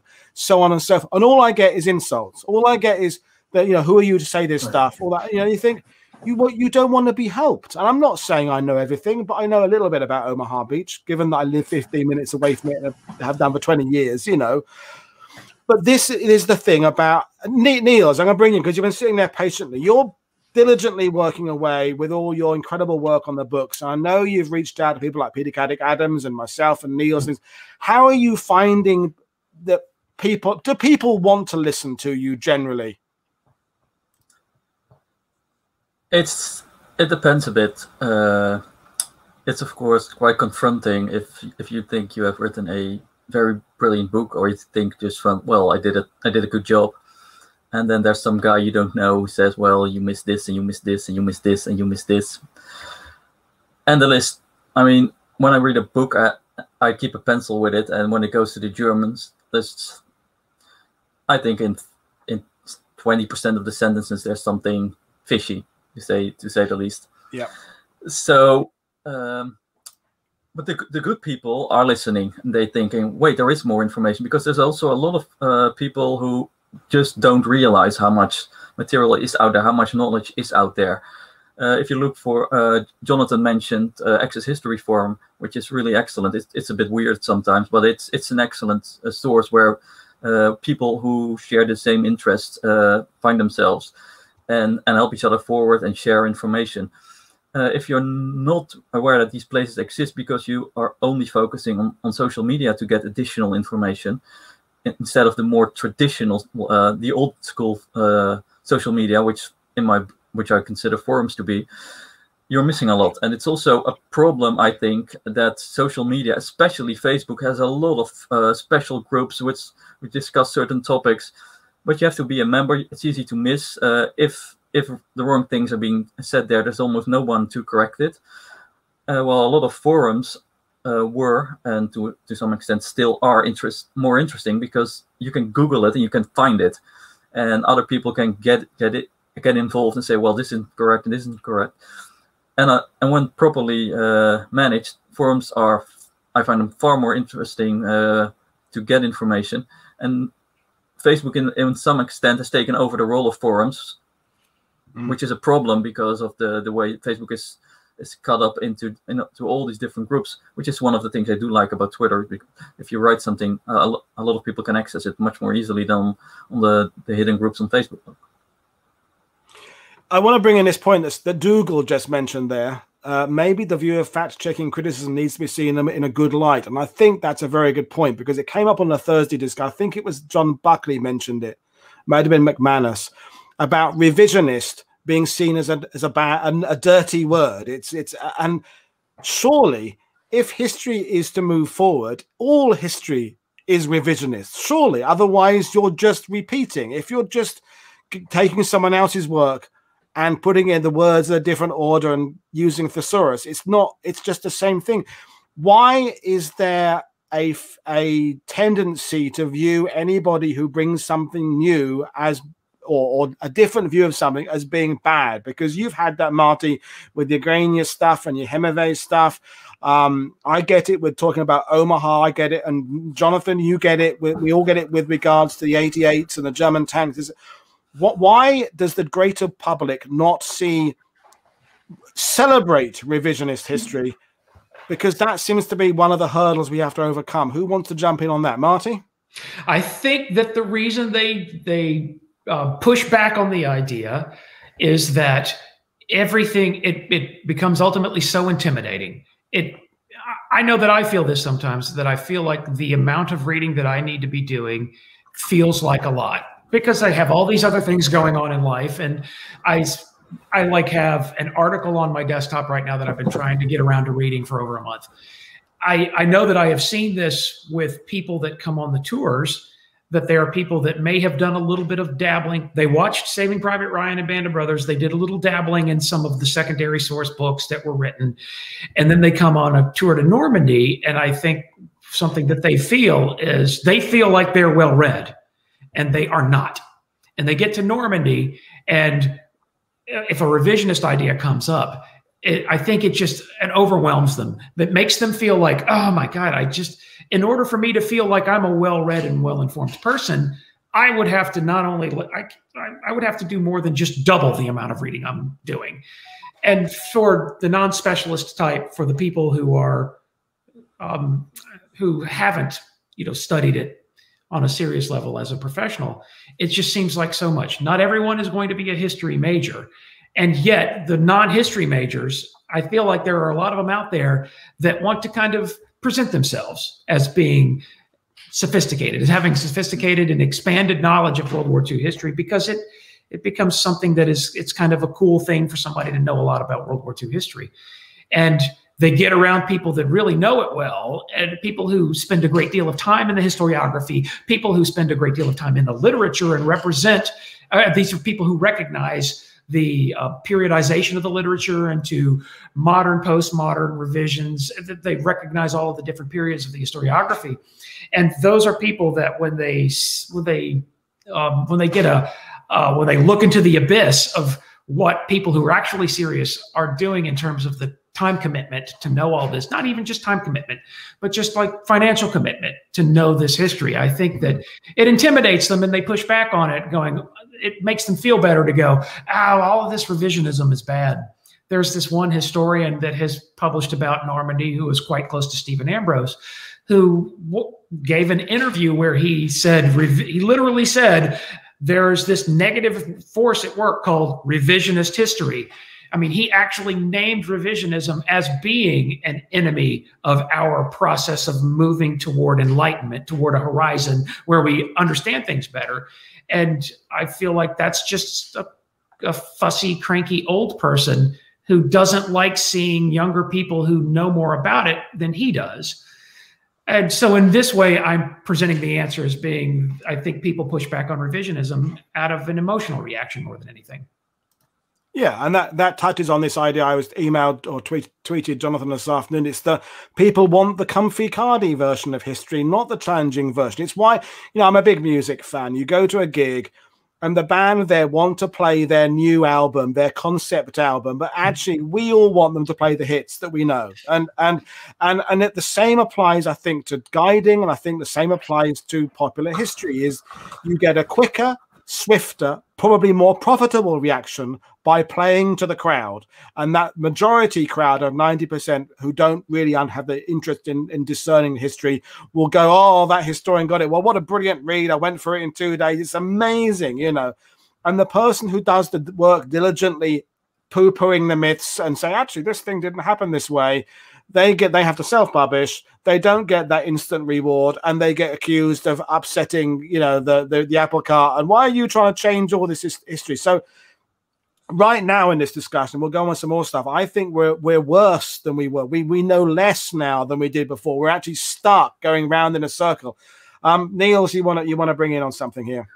Yes uh when we talk about revisionism the, there's only one thing worse is that's revisionism and german history uh, if you go if you mix those two words, it's very common for people to think, and for to a point for good reason, is that uh, it's about whitewashing the German uh, uh, history in World War II, and that's that's especially when revisionism is uh, linked to, to German. What what people actually mean is, I think the term is neg- negatism, uh, is what people confuse, but it's it's something I've also encountered when you say, well, I'm do- I'm re-examining some things, and there's a suspicion in some people that you're whitewashing uh, the German uh, history and uh, and all the crimes and everything. So that's when it comes to revisionism and, and German World War II history, that's also a, a, a risky thing. So if you say that you're re-examining uh, things that are hap- that happened, people might think that you're trying to place the uh, Germans in a better light. But proper revisionism is just looking at the evidence and seeing if if you can come to a different conclusion. And to name one example of this, which is which shows why it's important. I be, I've been studying the Cotentin Peninsula, and one of the div, uh, American divisions that has been getting a lot of flack already in 1944, uh, when when a division commander and regiment commander were uh, uh replaced, is the 90th Infantry Division yeah. But if you start looking at what they were up against, I, I'm not quite sure if there's any American unit at that time facing that kind of opposition.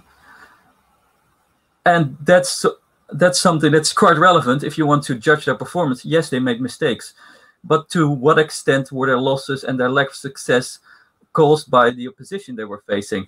And also, to what extent did they help set the stage in which the Germans they were facing were ultimately defeated. Because if you look a bit closer, it sort of, it does seriously look like that they they gave the Germans a very bloody nose, which helped uh, other units which came in later uh, finally break through to them. So that's why you need to go back to understand also the Allied side of the story. If you don't know what they were up against, you can never understand what really happened and understand the context and the sacrifices. No, I agree there. And yeah, the 90 division, I was up at Mont Castre a couple of weeks ago, and you know, you look at that terrain there and who they're facing, and it's just it's crappy. And the only the only decent book I've ever read about the 90 division is the John Colby one, War from the Ground Up, which is now like the chocolate fire guard to find. You just can't find it anywhere. It's hard to get. And the books that you can buy about the 90th are the rather they're still a bit crap. They're a bit anyway. So that we we, we digress a bit, but.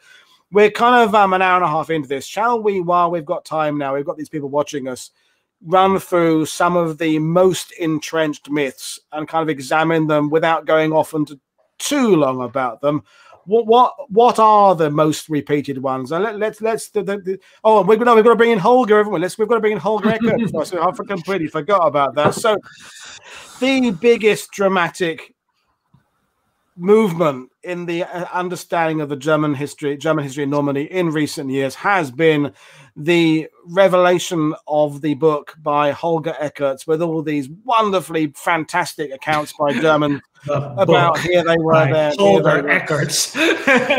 yeah, the author Eckhertz.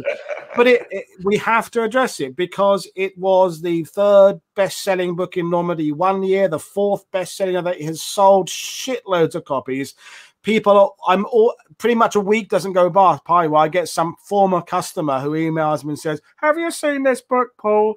What do you think of it? And i go yes it's shit.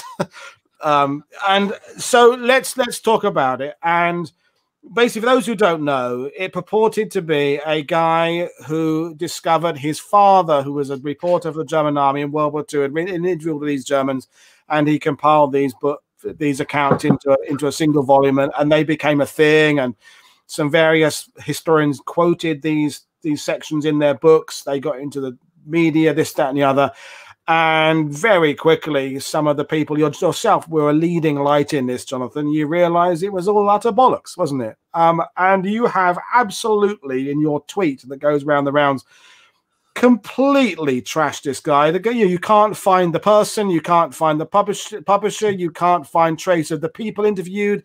The, there's mistakes in language use, there's mistakes in geography, there's, and yet it's still there, and yet people are still talking about it. So, what what's well, Jonathan, you you've done probably the most work on this. What's well, well, you all have really, but Jonathan, just give us a summary of of the of of what damage that has done to our understanding of the Germans in Normandy, well, the Normandy campaign generally? So I was given this by a mate of mine who bought it, and he also bought the Wolfgang Faust stuff. Um, who, by the way, is very bright chap. It's not Dougal. Hey, Dougal.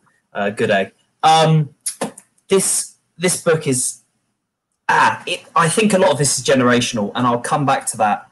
And I'll say "Okay, Boomer" at some point, and it's horribly generational, but it'll, it'll make sense. I promise you, it'll make sense. So this book, um, you know what I'm saying? I think people do care for muted narratives, and I was recently told by Sandhurst lecturer that muted narratives don't exist. They do. If you're watching this, seriously, um, talk to historians of uh, different topics. The muted narrative is a huge problem. The Germans in Normandy, French prison, French colonial prisoners of war in Normandy, who end up aiding the Allies in some way, they're a muted experience of Normandy. A huge, huge numbers of these topics. Now, historians want cool stuff to put in their books. And this book was originally highlighted, although we had serious questions about it, by Giles Milton, who for me is an early modernist. He's he has written on World War II, but he's not who I would associate as a World War II historian. And then it was Robert Kershaw went, hey, some bits of this sound all right to me. Um, so when I got given this, because I was not gonna I was not gonna buy this because it was originally an ebook. Um, I sat down and actually read. I read half the book, then flicked through the rest of it, I was going to do a chapter by chapter analysis, and I just thought I'd lose the will to live because it's pornographic, it's it's hyper visceral. The level of gore in here is astonishing, and I, I do mean that. When I yeah. read this, and I could not think of a single veteran's account of the campaign from either side that I had read that got anywhere near it. And it was also convenient that everyone, all the key participants are dead. Like that's a great thing. So the question I had though was who the hell's Holger Bloody Eckhertz? And it's published by Sprech Media. Who is Sprech Media? Now, this is, book is still sold as history by Amazon right now. Um, I would go back through the original thread of how I worked out this was complete crap, and it was going through line by line. Key details of Rot are wrong. The, the level of violence in everyone, every chapter is astonishing. Each account in it, from recollection, had notions of Eurofascism. Now that was strange. So it basically argues that the European race is going to defeat the Slav. And if you're keen on your far right politics and keeping an eye on these sort of things and how World War II plays into it, some people are, this book is a basically a Eurofascist recruiting manual for extremists. It's a, a serious problem child. Now, I tried to work out who Eckhertz was, and I came up that he's between when this came out between 50 and 60 years of our age. I'm also convinced, well, I've become convinced he's dead because there was meant to be a follow up to these books, and they sold so well. Um, when it emerged, uh, e publishing was doing really, really well. And I knew mates who bought houses writing absolutely atrocious sci fi for 99p. And I mean, this is so bad. There was no plot, it was just sex and guns the whole way through. It's like new, newer, newer dime novels. And you could put an ebook up and it would it would just fly because not enough people were pumping stuff out, unlike now. Now, Eckhertz, he's British. I can tell you that much from his use of language in this book because it's not the stuff I'd expect from an American. Um, and he uses uh, predominant terms that we would associate. So Mar- Marty's off, off, the hook there, then. Say again? Marty's off the hook. Then we're not blaming Marty. but yeah, no. I mean, for me, this, this guy becomes is a pure ghost. Uh, it also shares a lot of each chapter shares a lot of linguistic traits and structure structural with the other accounts. Um, it just doesn't make any sense. If you've got any material on 21st Panzer, you'll know the chapter on hitting 21st Panzer just cannot be true due to the vehicles in it. Um, and there's some very, very bizarre accounts regarding other tanks, armored vehicles, air attack bombing, mystery weapons. And the other day, a historian who I won't say here because they may be watching, who should be ashamed of themselves, defended this as being accurate in parts. Now, uh, it wasn't Kershaw who, going off years ago, if you glance through this or I've heard of it, you'd say, I, am convinced also there is some truth in this. So I'm convinced that some of it comes from recollections or half stories told at some point to the author, because there's weird bits which do chime to a knowledgeable hand who's keen on their 80s history and probably did speak to veterans because odds on, or there's an association link of, of something.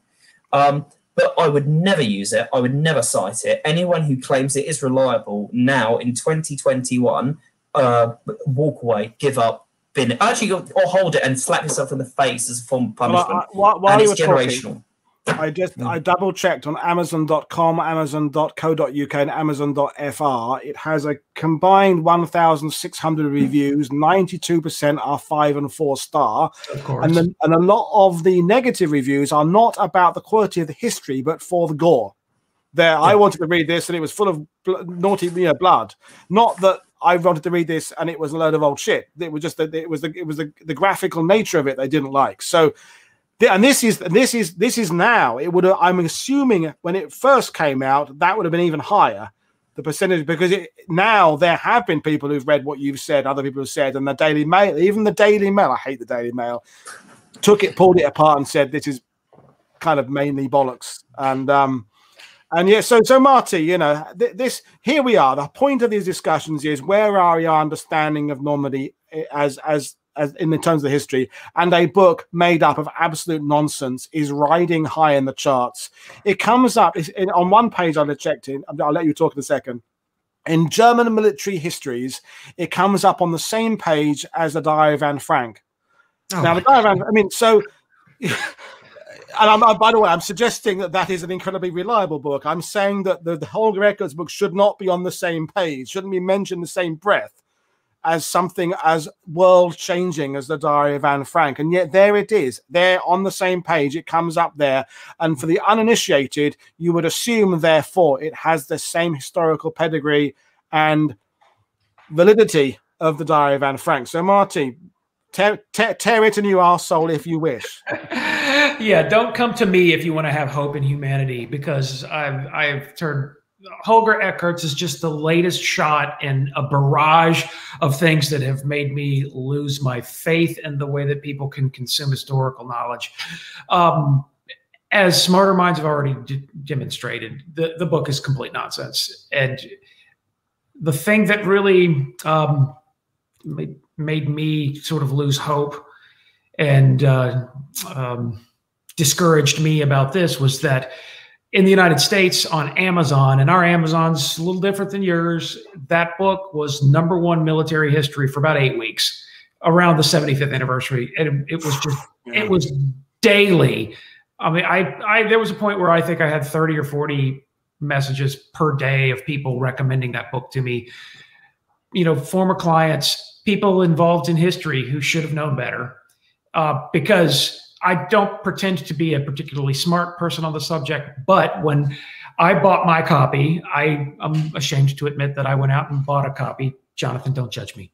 But I, I bought my copy, it came in, and I just kind of briefly looked at, at the, the organization of the book. That's something I do with every book I get. I get look like what their chapters are organized like. And um, I saw that there was an account from, from a soldier who was supposedly fighting in the vicinity of, um, of Utah Beach. This interests me just because of the airborne fascination. And so I jumped to that, and that's where I started reading.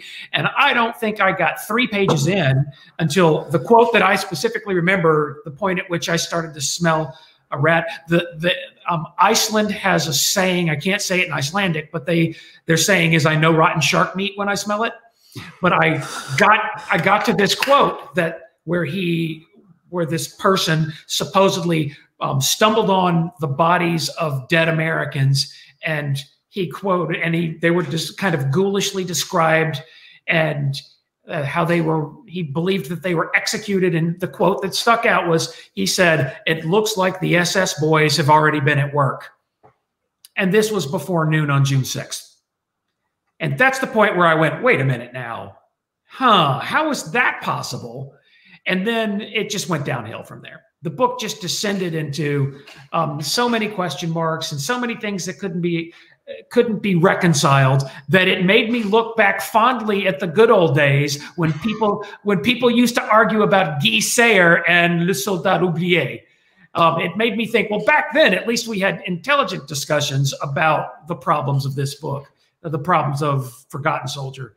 Um, the the problem then got for me at least worse because people continued to just barrage me with, "Hey, have you seen this book? You need to check this book out."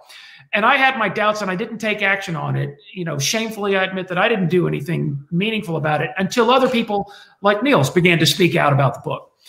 Um, I have a, a, very, an even more discouraging recent update for you, gentlemen, and that is that a an acquaintance here locally in Louisiana who teaches military history, not general history, but military history, um, recently asked me about the book, and I said, "Oh, you know that book's."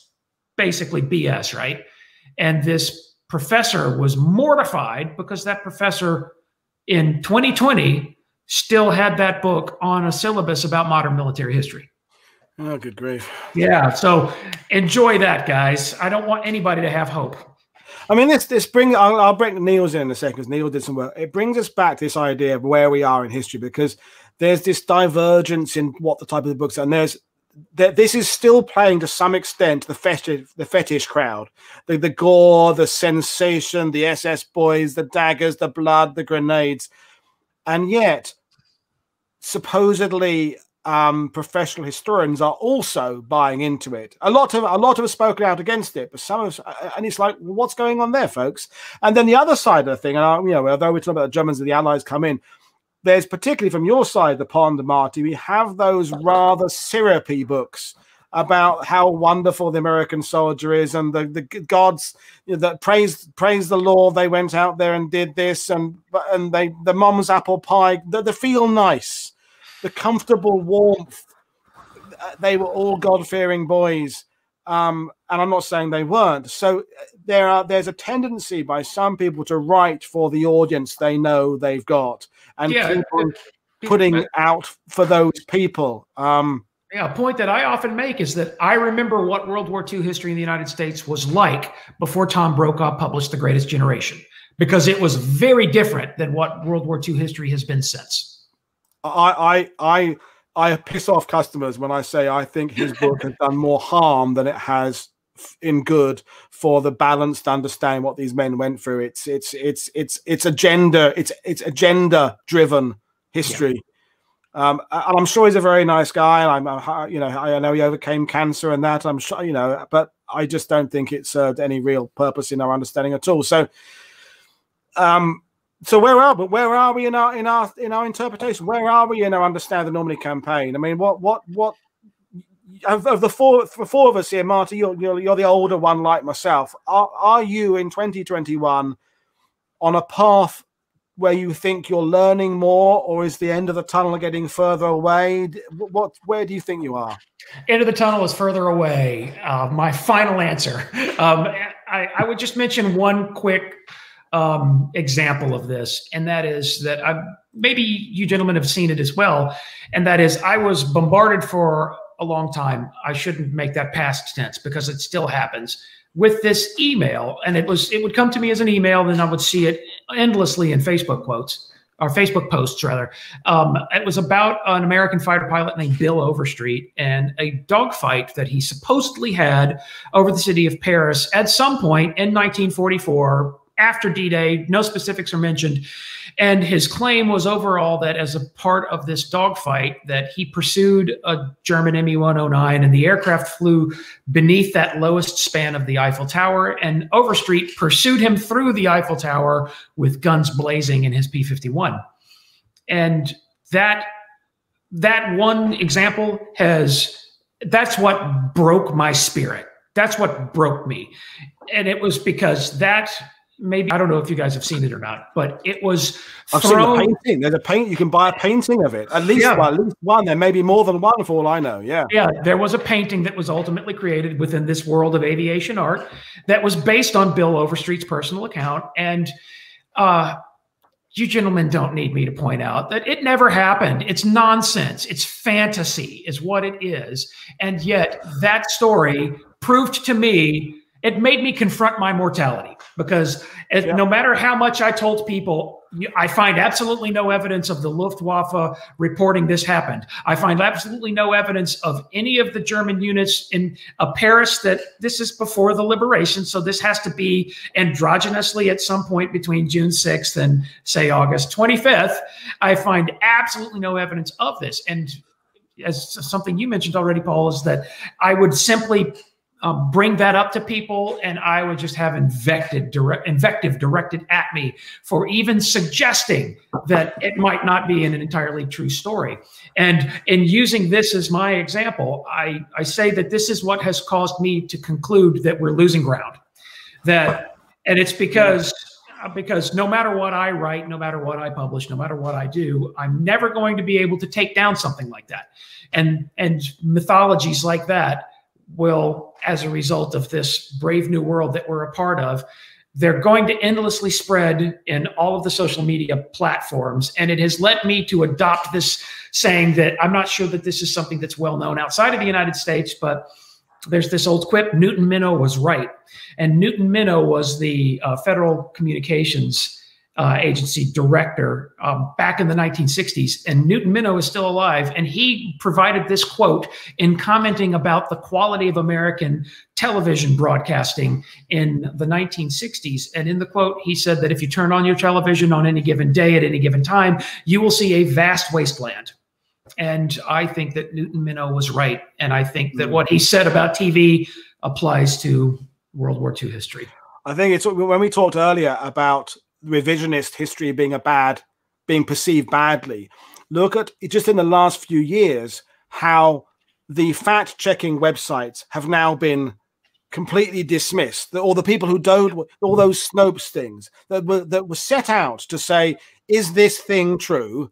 And they'd investigate it. And now people say, well, they're wrong as well. So you're you're in this spiral of disbelief about everything. And people want to believe what they want to believe, and no amount of evidence will sway them away from that. the other one, I, I know it's not World War II. I get the emails sent all the time about the Jane Fonda one, the Vietnam one. And I'm not saying Jane Fonda, what she did was was advised. I'm not saying she was a great person. I'm just saying that the version of the story that does the rounds is far removed. Quote, quoting pilots that didn't exist. Yeah, the, the, this this thing goes, and when you point out that I would just check the check check some of the names in that thing before you forward it on to 20 more people. Just search the names that are in that because you'll find these people don't exist. And and they don't they don't want to do it because no, no, no. And so how can we compete with that? How can we compete with a with a world that doesn't actually want to to understand this history? Um I think I'm with you, Marty. I, I, kind of after Thursday's talk, I was kind of optimistic about the future. Now I've taken a couple of steps back again. But Jonathan and Niels, you're the younger two of us here. Where, where do you think it's going to go the next two years, ten years, let's say? Niels, you know, when your book comes out, will I mean, I'm, I'd love to think that makes a difference. But where where do you think we're going to be in ten years' time? I think it depends absolutely on what uh, po- the most popular uh, media outlets, uh, most popular authors are going to do. Uh, they set they set the stage. Uh, uh, they bring a story to a very large crowd. If they listen to what we're saying, if they're putting more effort in, hopefully because they realize that they can say we found something new as a that that's commercially interesting and that they improve on what on the story they're telling. That's what I'm hoping. Uh, whether or not it's worth the effort uh, from a commercial point of view is, is another matter. But I think that's the only way uh, we, we will move forward. With one remark I'd like to make, I think at least uh, that the younger generations are going to be a bit less uh, nationalistic in, a, in their approach, being more curious about the other side. Uh, have more, having more questions uh, without being afraid to uh, to upset anyone, their grandparents, their great grandparents, because they're no longer there. I hope that's going to change a bit. how successful that will be, only time will tell. I'm not extremely hopeful, but I, I, I try to be hopeful. Jonathan, what's your view? Where where are we? Where are we going to be? So I think we're in an awkward place to an extent where truth and friction seamlessly slide together. Uh, the subject has become, I mean, World War II has become broader than we would ever consider. I mean, Hastings had an absolute tantrum in uh, America, and his article got absolutely poo pooed. There wasn't really a kernel of point to it. It was uh, very much apologies for older viewers, an okay boomer moment. um, and I think actually the generational trope is really important on this. So currently, uh, we I have a problem. The IWM has been openly stating that there was a black journalist on D-Day, and that stemmed from uh, a couple of really strange blog articles, oddly enough. So I contacted them and said, "Hey, can you can you re- tell me how you came about this?" And they they deleted the first post on Twitter. They didn't delete the one on Facebook. So after an absolute arduous process. They they wouldn't accept it was wrong.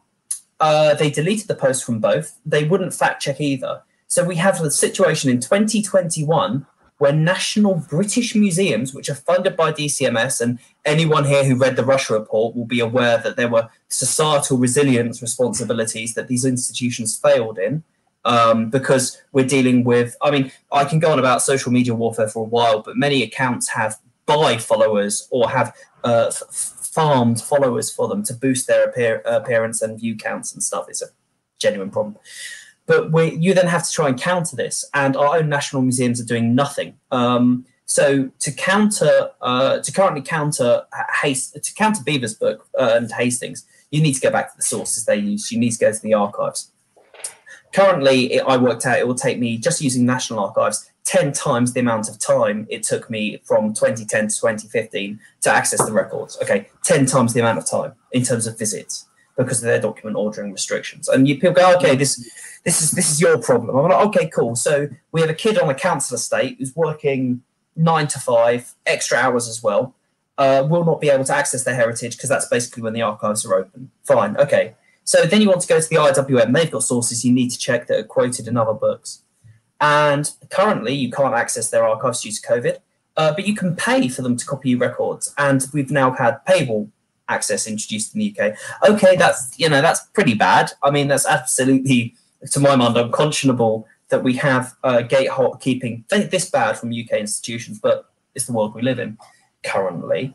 Um, and then we also come back to that these institutions won't. I mean, the 12 SS books we mentioned earlier will have one of them. I'm pretty sure is all based on secondary pre-published sources. Uh, many books rely on the, these. Um, Trig, um, you rely on these these books because you recycle the material from them because it's it's cost effective to do so. It's easy, and people like easy work for churning out cash cows. Now, what I always say is we have to work harder and do better and the younger generation, because I'm a millennial, I've come to accept this over time, and the Zoomers. The Zoomers, I mean, they've got their shit together. Seriously, talk to any Zoomer and they're, they're pretty good. It's us millennials who are arguably letting the side down a bit. So we've got to step up. We've got to work harder. Um, and we've also got to accept the older generations may not accept what we want. uh, want to say. Um, I have a policy of blocking no one on Twitter, which is, can be a problem, but it does open up discourse for people who may not normally be yeah enter it. Um, uh, so I do have hard right individuals share my stuff and comment on it, and I, I, do engage with them. And over time, I've had emails from people saying they've changed their lives because they ask how many people get into the hard right stuff through World War II, through the SS being this warrior elite. Um, and we also have problems. I mean, like um, uh, I, I, still think that Western militaries are pushing uh, completely dirt accounts. And I was told, uh, who was it? Um, uh, Gary Sheffield said that he was briefing against the um, uh, von Luck narrative from 2000 to 2006. Um, what I find bizarre is I talk to young officers and mid-ranking officers, and they tell me I'm wrong, and they have this view of narrative and the campaign, which, according to lecturers at Sandhurst, isn't being taught there. And some of these people have graduated under the times when staff have been teaching on Normandy um, and staff college when allegedly this hasn't been taught. So where is our own professional military? And we know this goes all the way up to the top of the mm. UK military because of the nature of when they entered as subalterns and did courses within you know 80s to 2000s. Um, so there's clearly inter- in- institutional reticence to change their mindset, perhaps. Um, one area I am keen on is that when people turn 50, the joke is they suddenly get interested in World War II.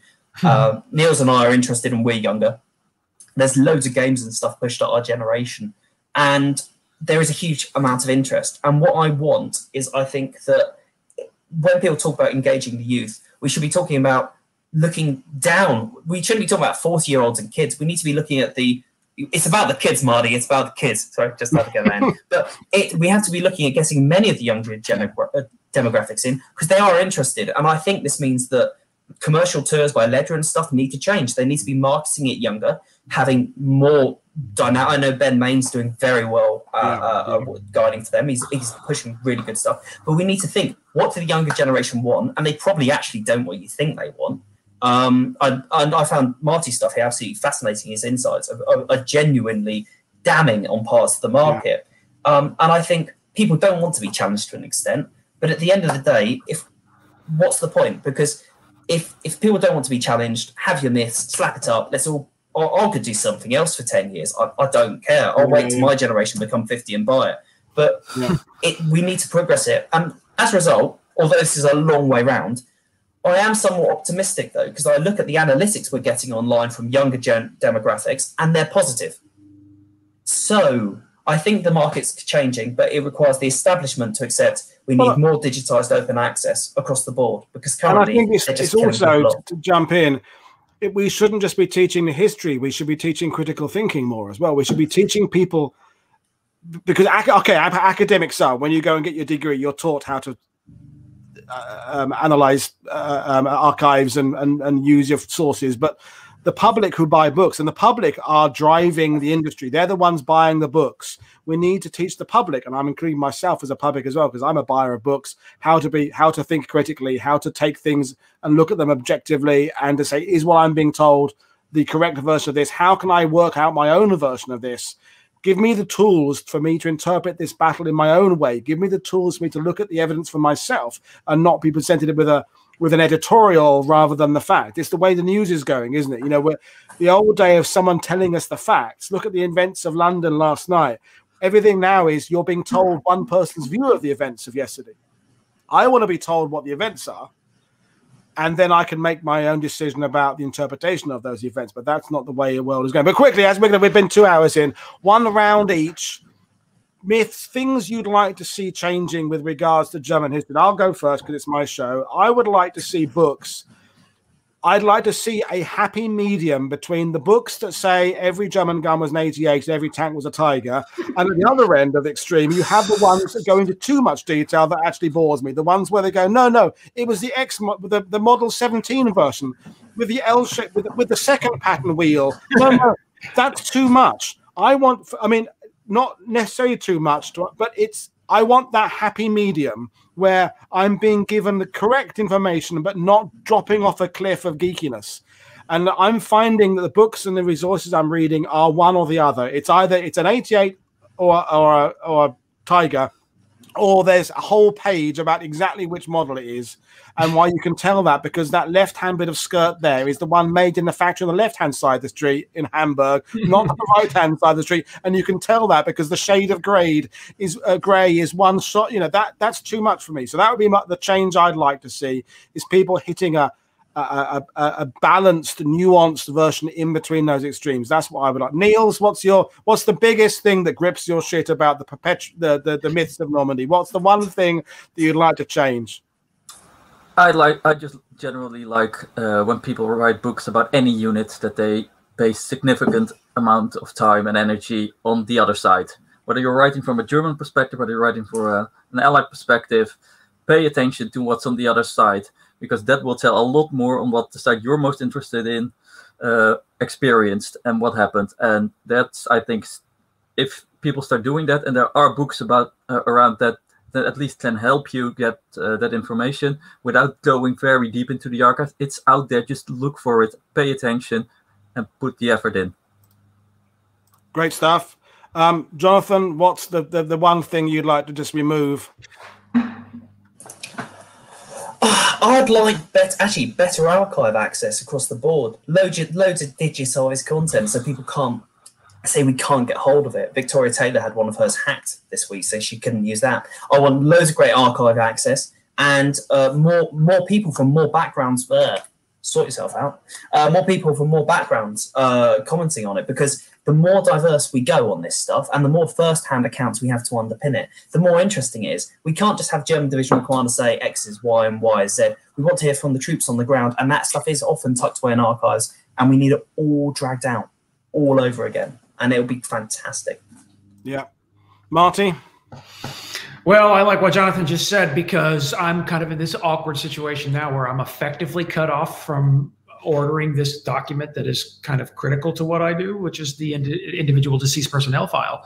Oh, yeah. It's it's a it's functionally impossible now to get the um, the either the National Archives or the Army because the, the files are divided up between the two. It's functionally impossible to get those with with absolutely no um, definition about when we might get a response for a submitted inquiry. But um, to make one specific comment, I would like the mythology of the Koreans to go away.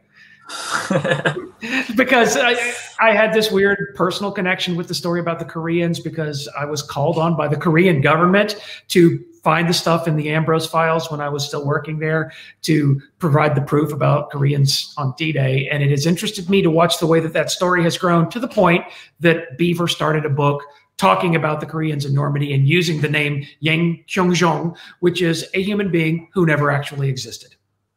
Wow.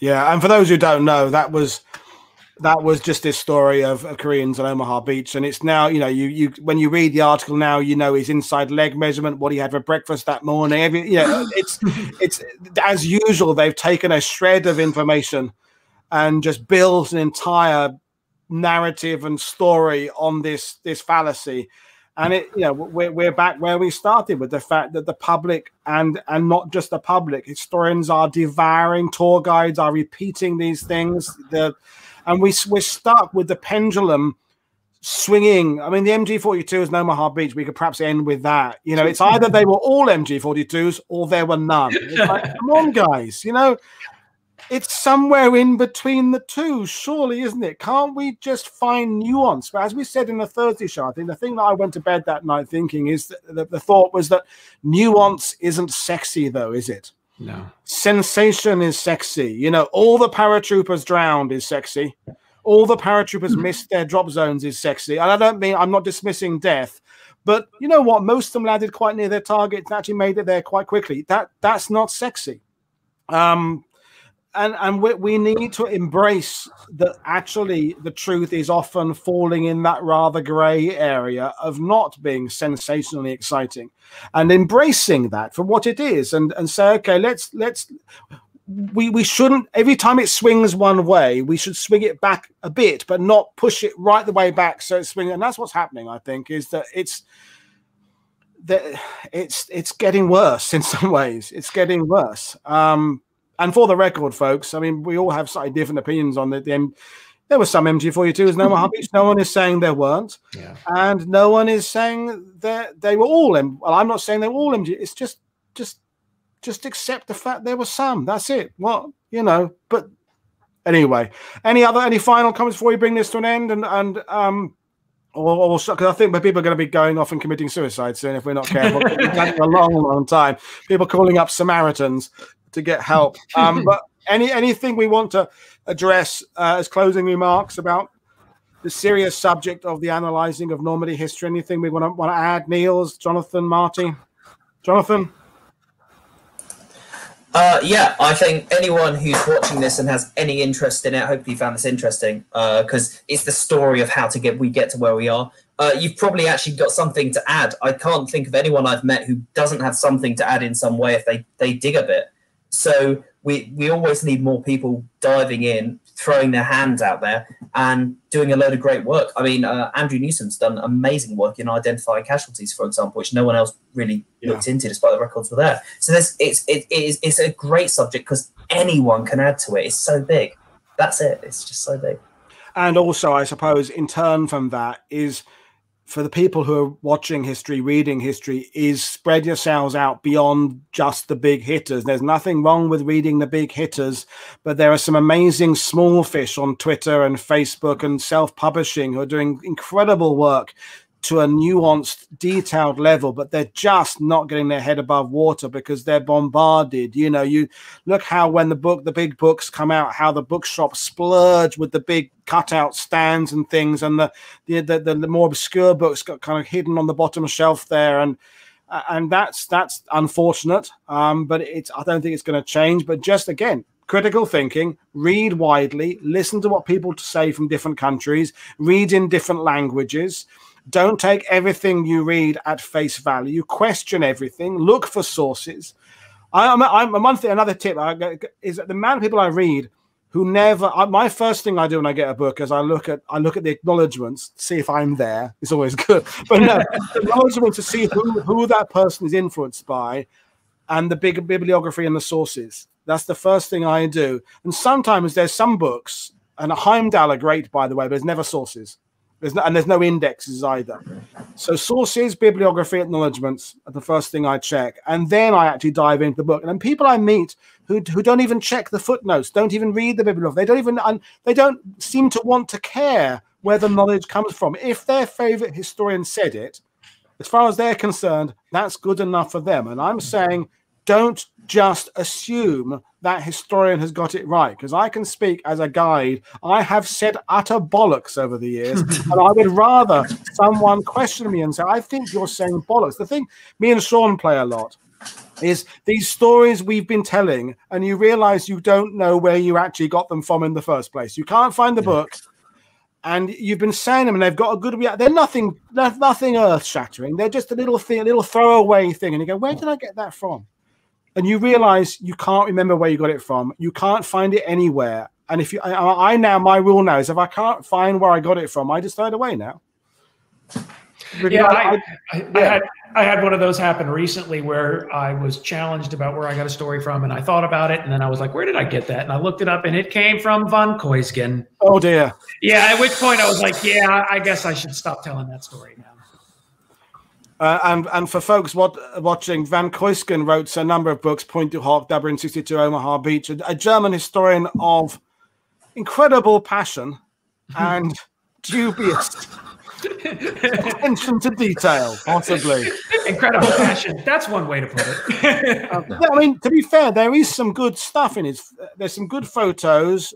Um, and there's some information there. His, his use of graphics and maps and, and bunker dissections, I think, is quite good. Um, but beyond that, there's a lot of supposition, and yeah. um, I've got I've got my Christopher Hitchens sweatshirt on today. Um, what can be asserted without evidence can be dismissed without evidence, and it is a, a motto I live my life by these days. Anybody can say anything, but I want to know what your sources are, and you saying something does not make it true. Uh, and that that's my rule for life now. I, I the late great Christopher Hitchens, um, who was a was a uh, writer for Vanity Fair. He wrote on a variety of topics. He ended up becoming a very prominent atheist, but don't let that put you off if that's not your thing.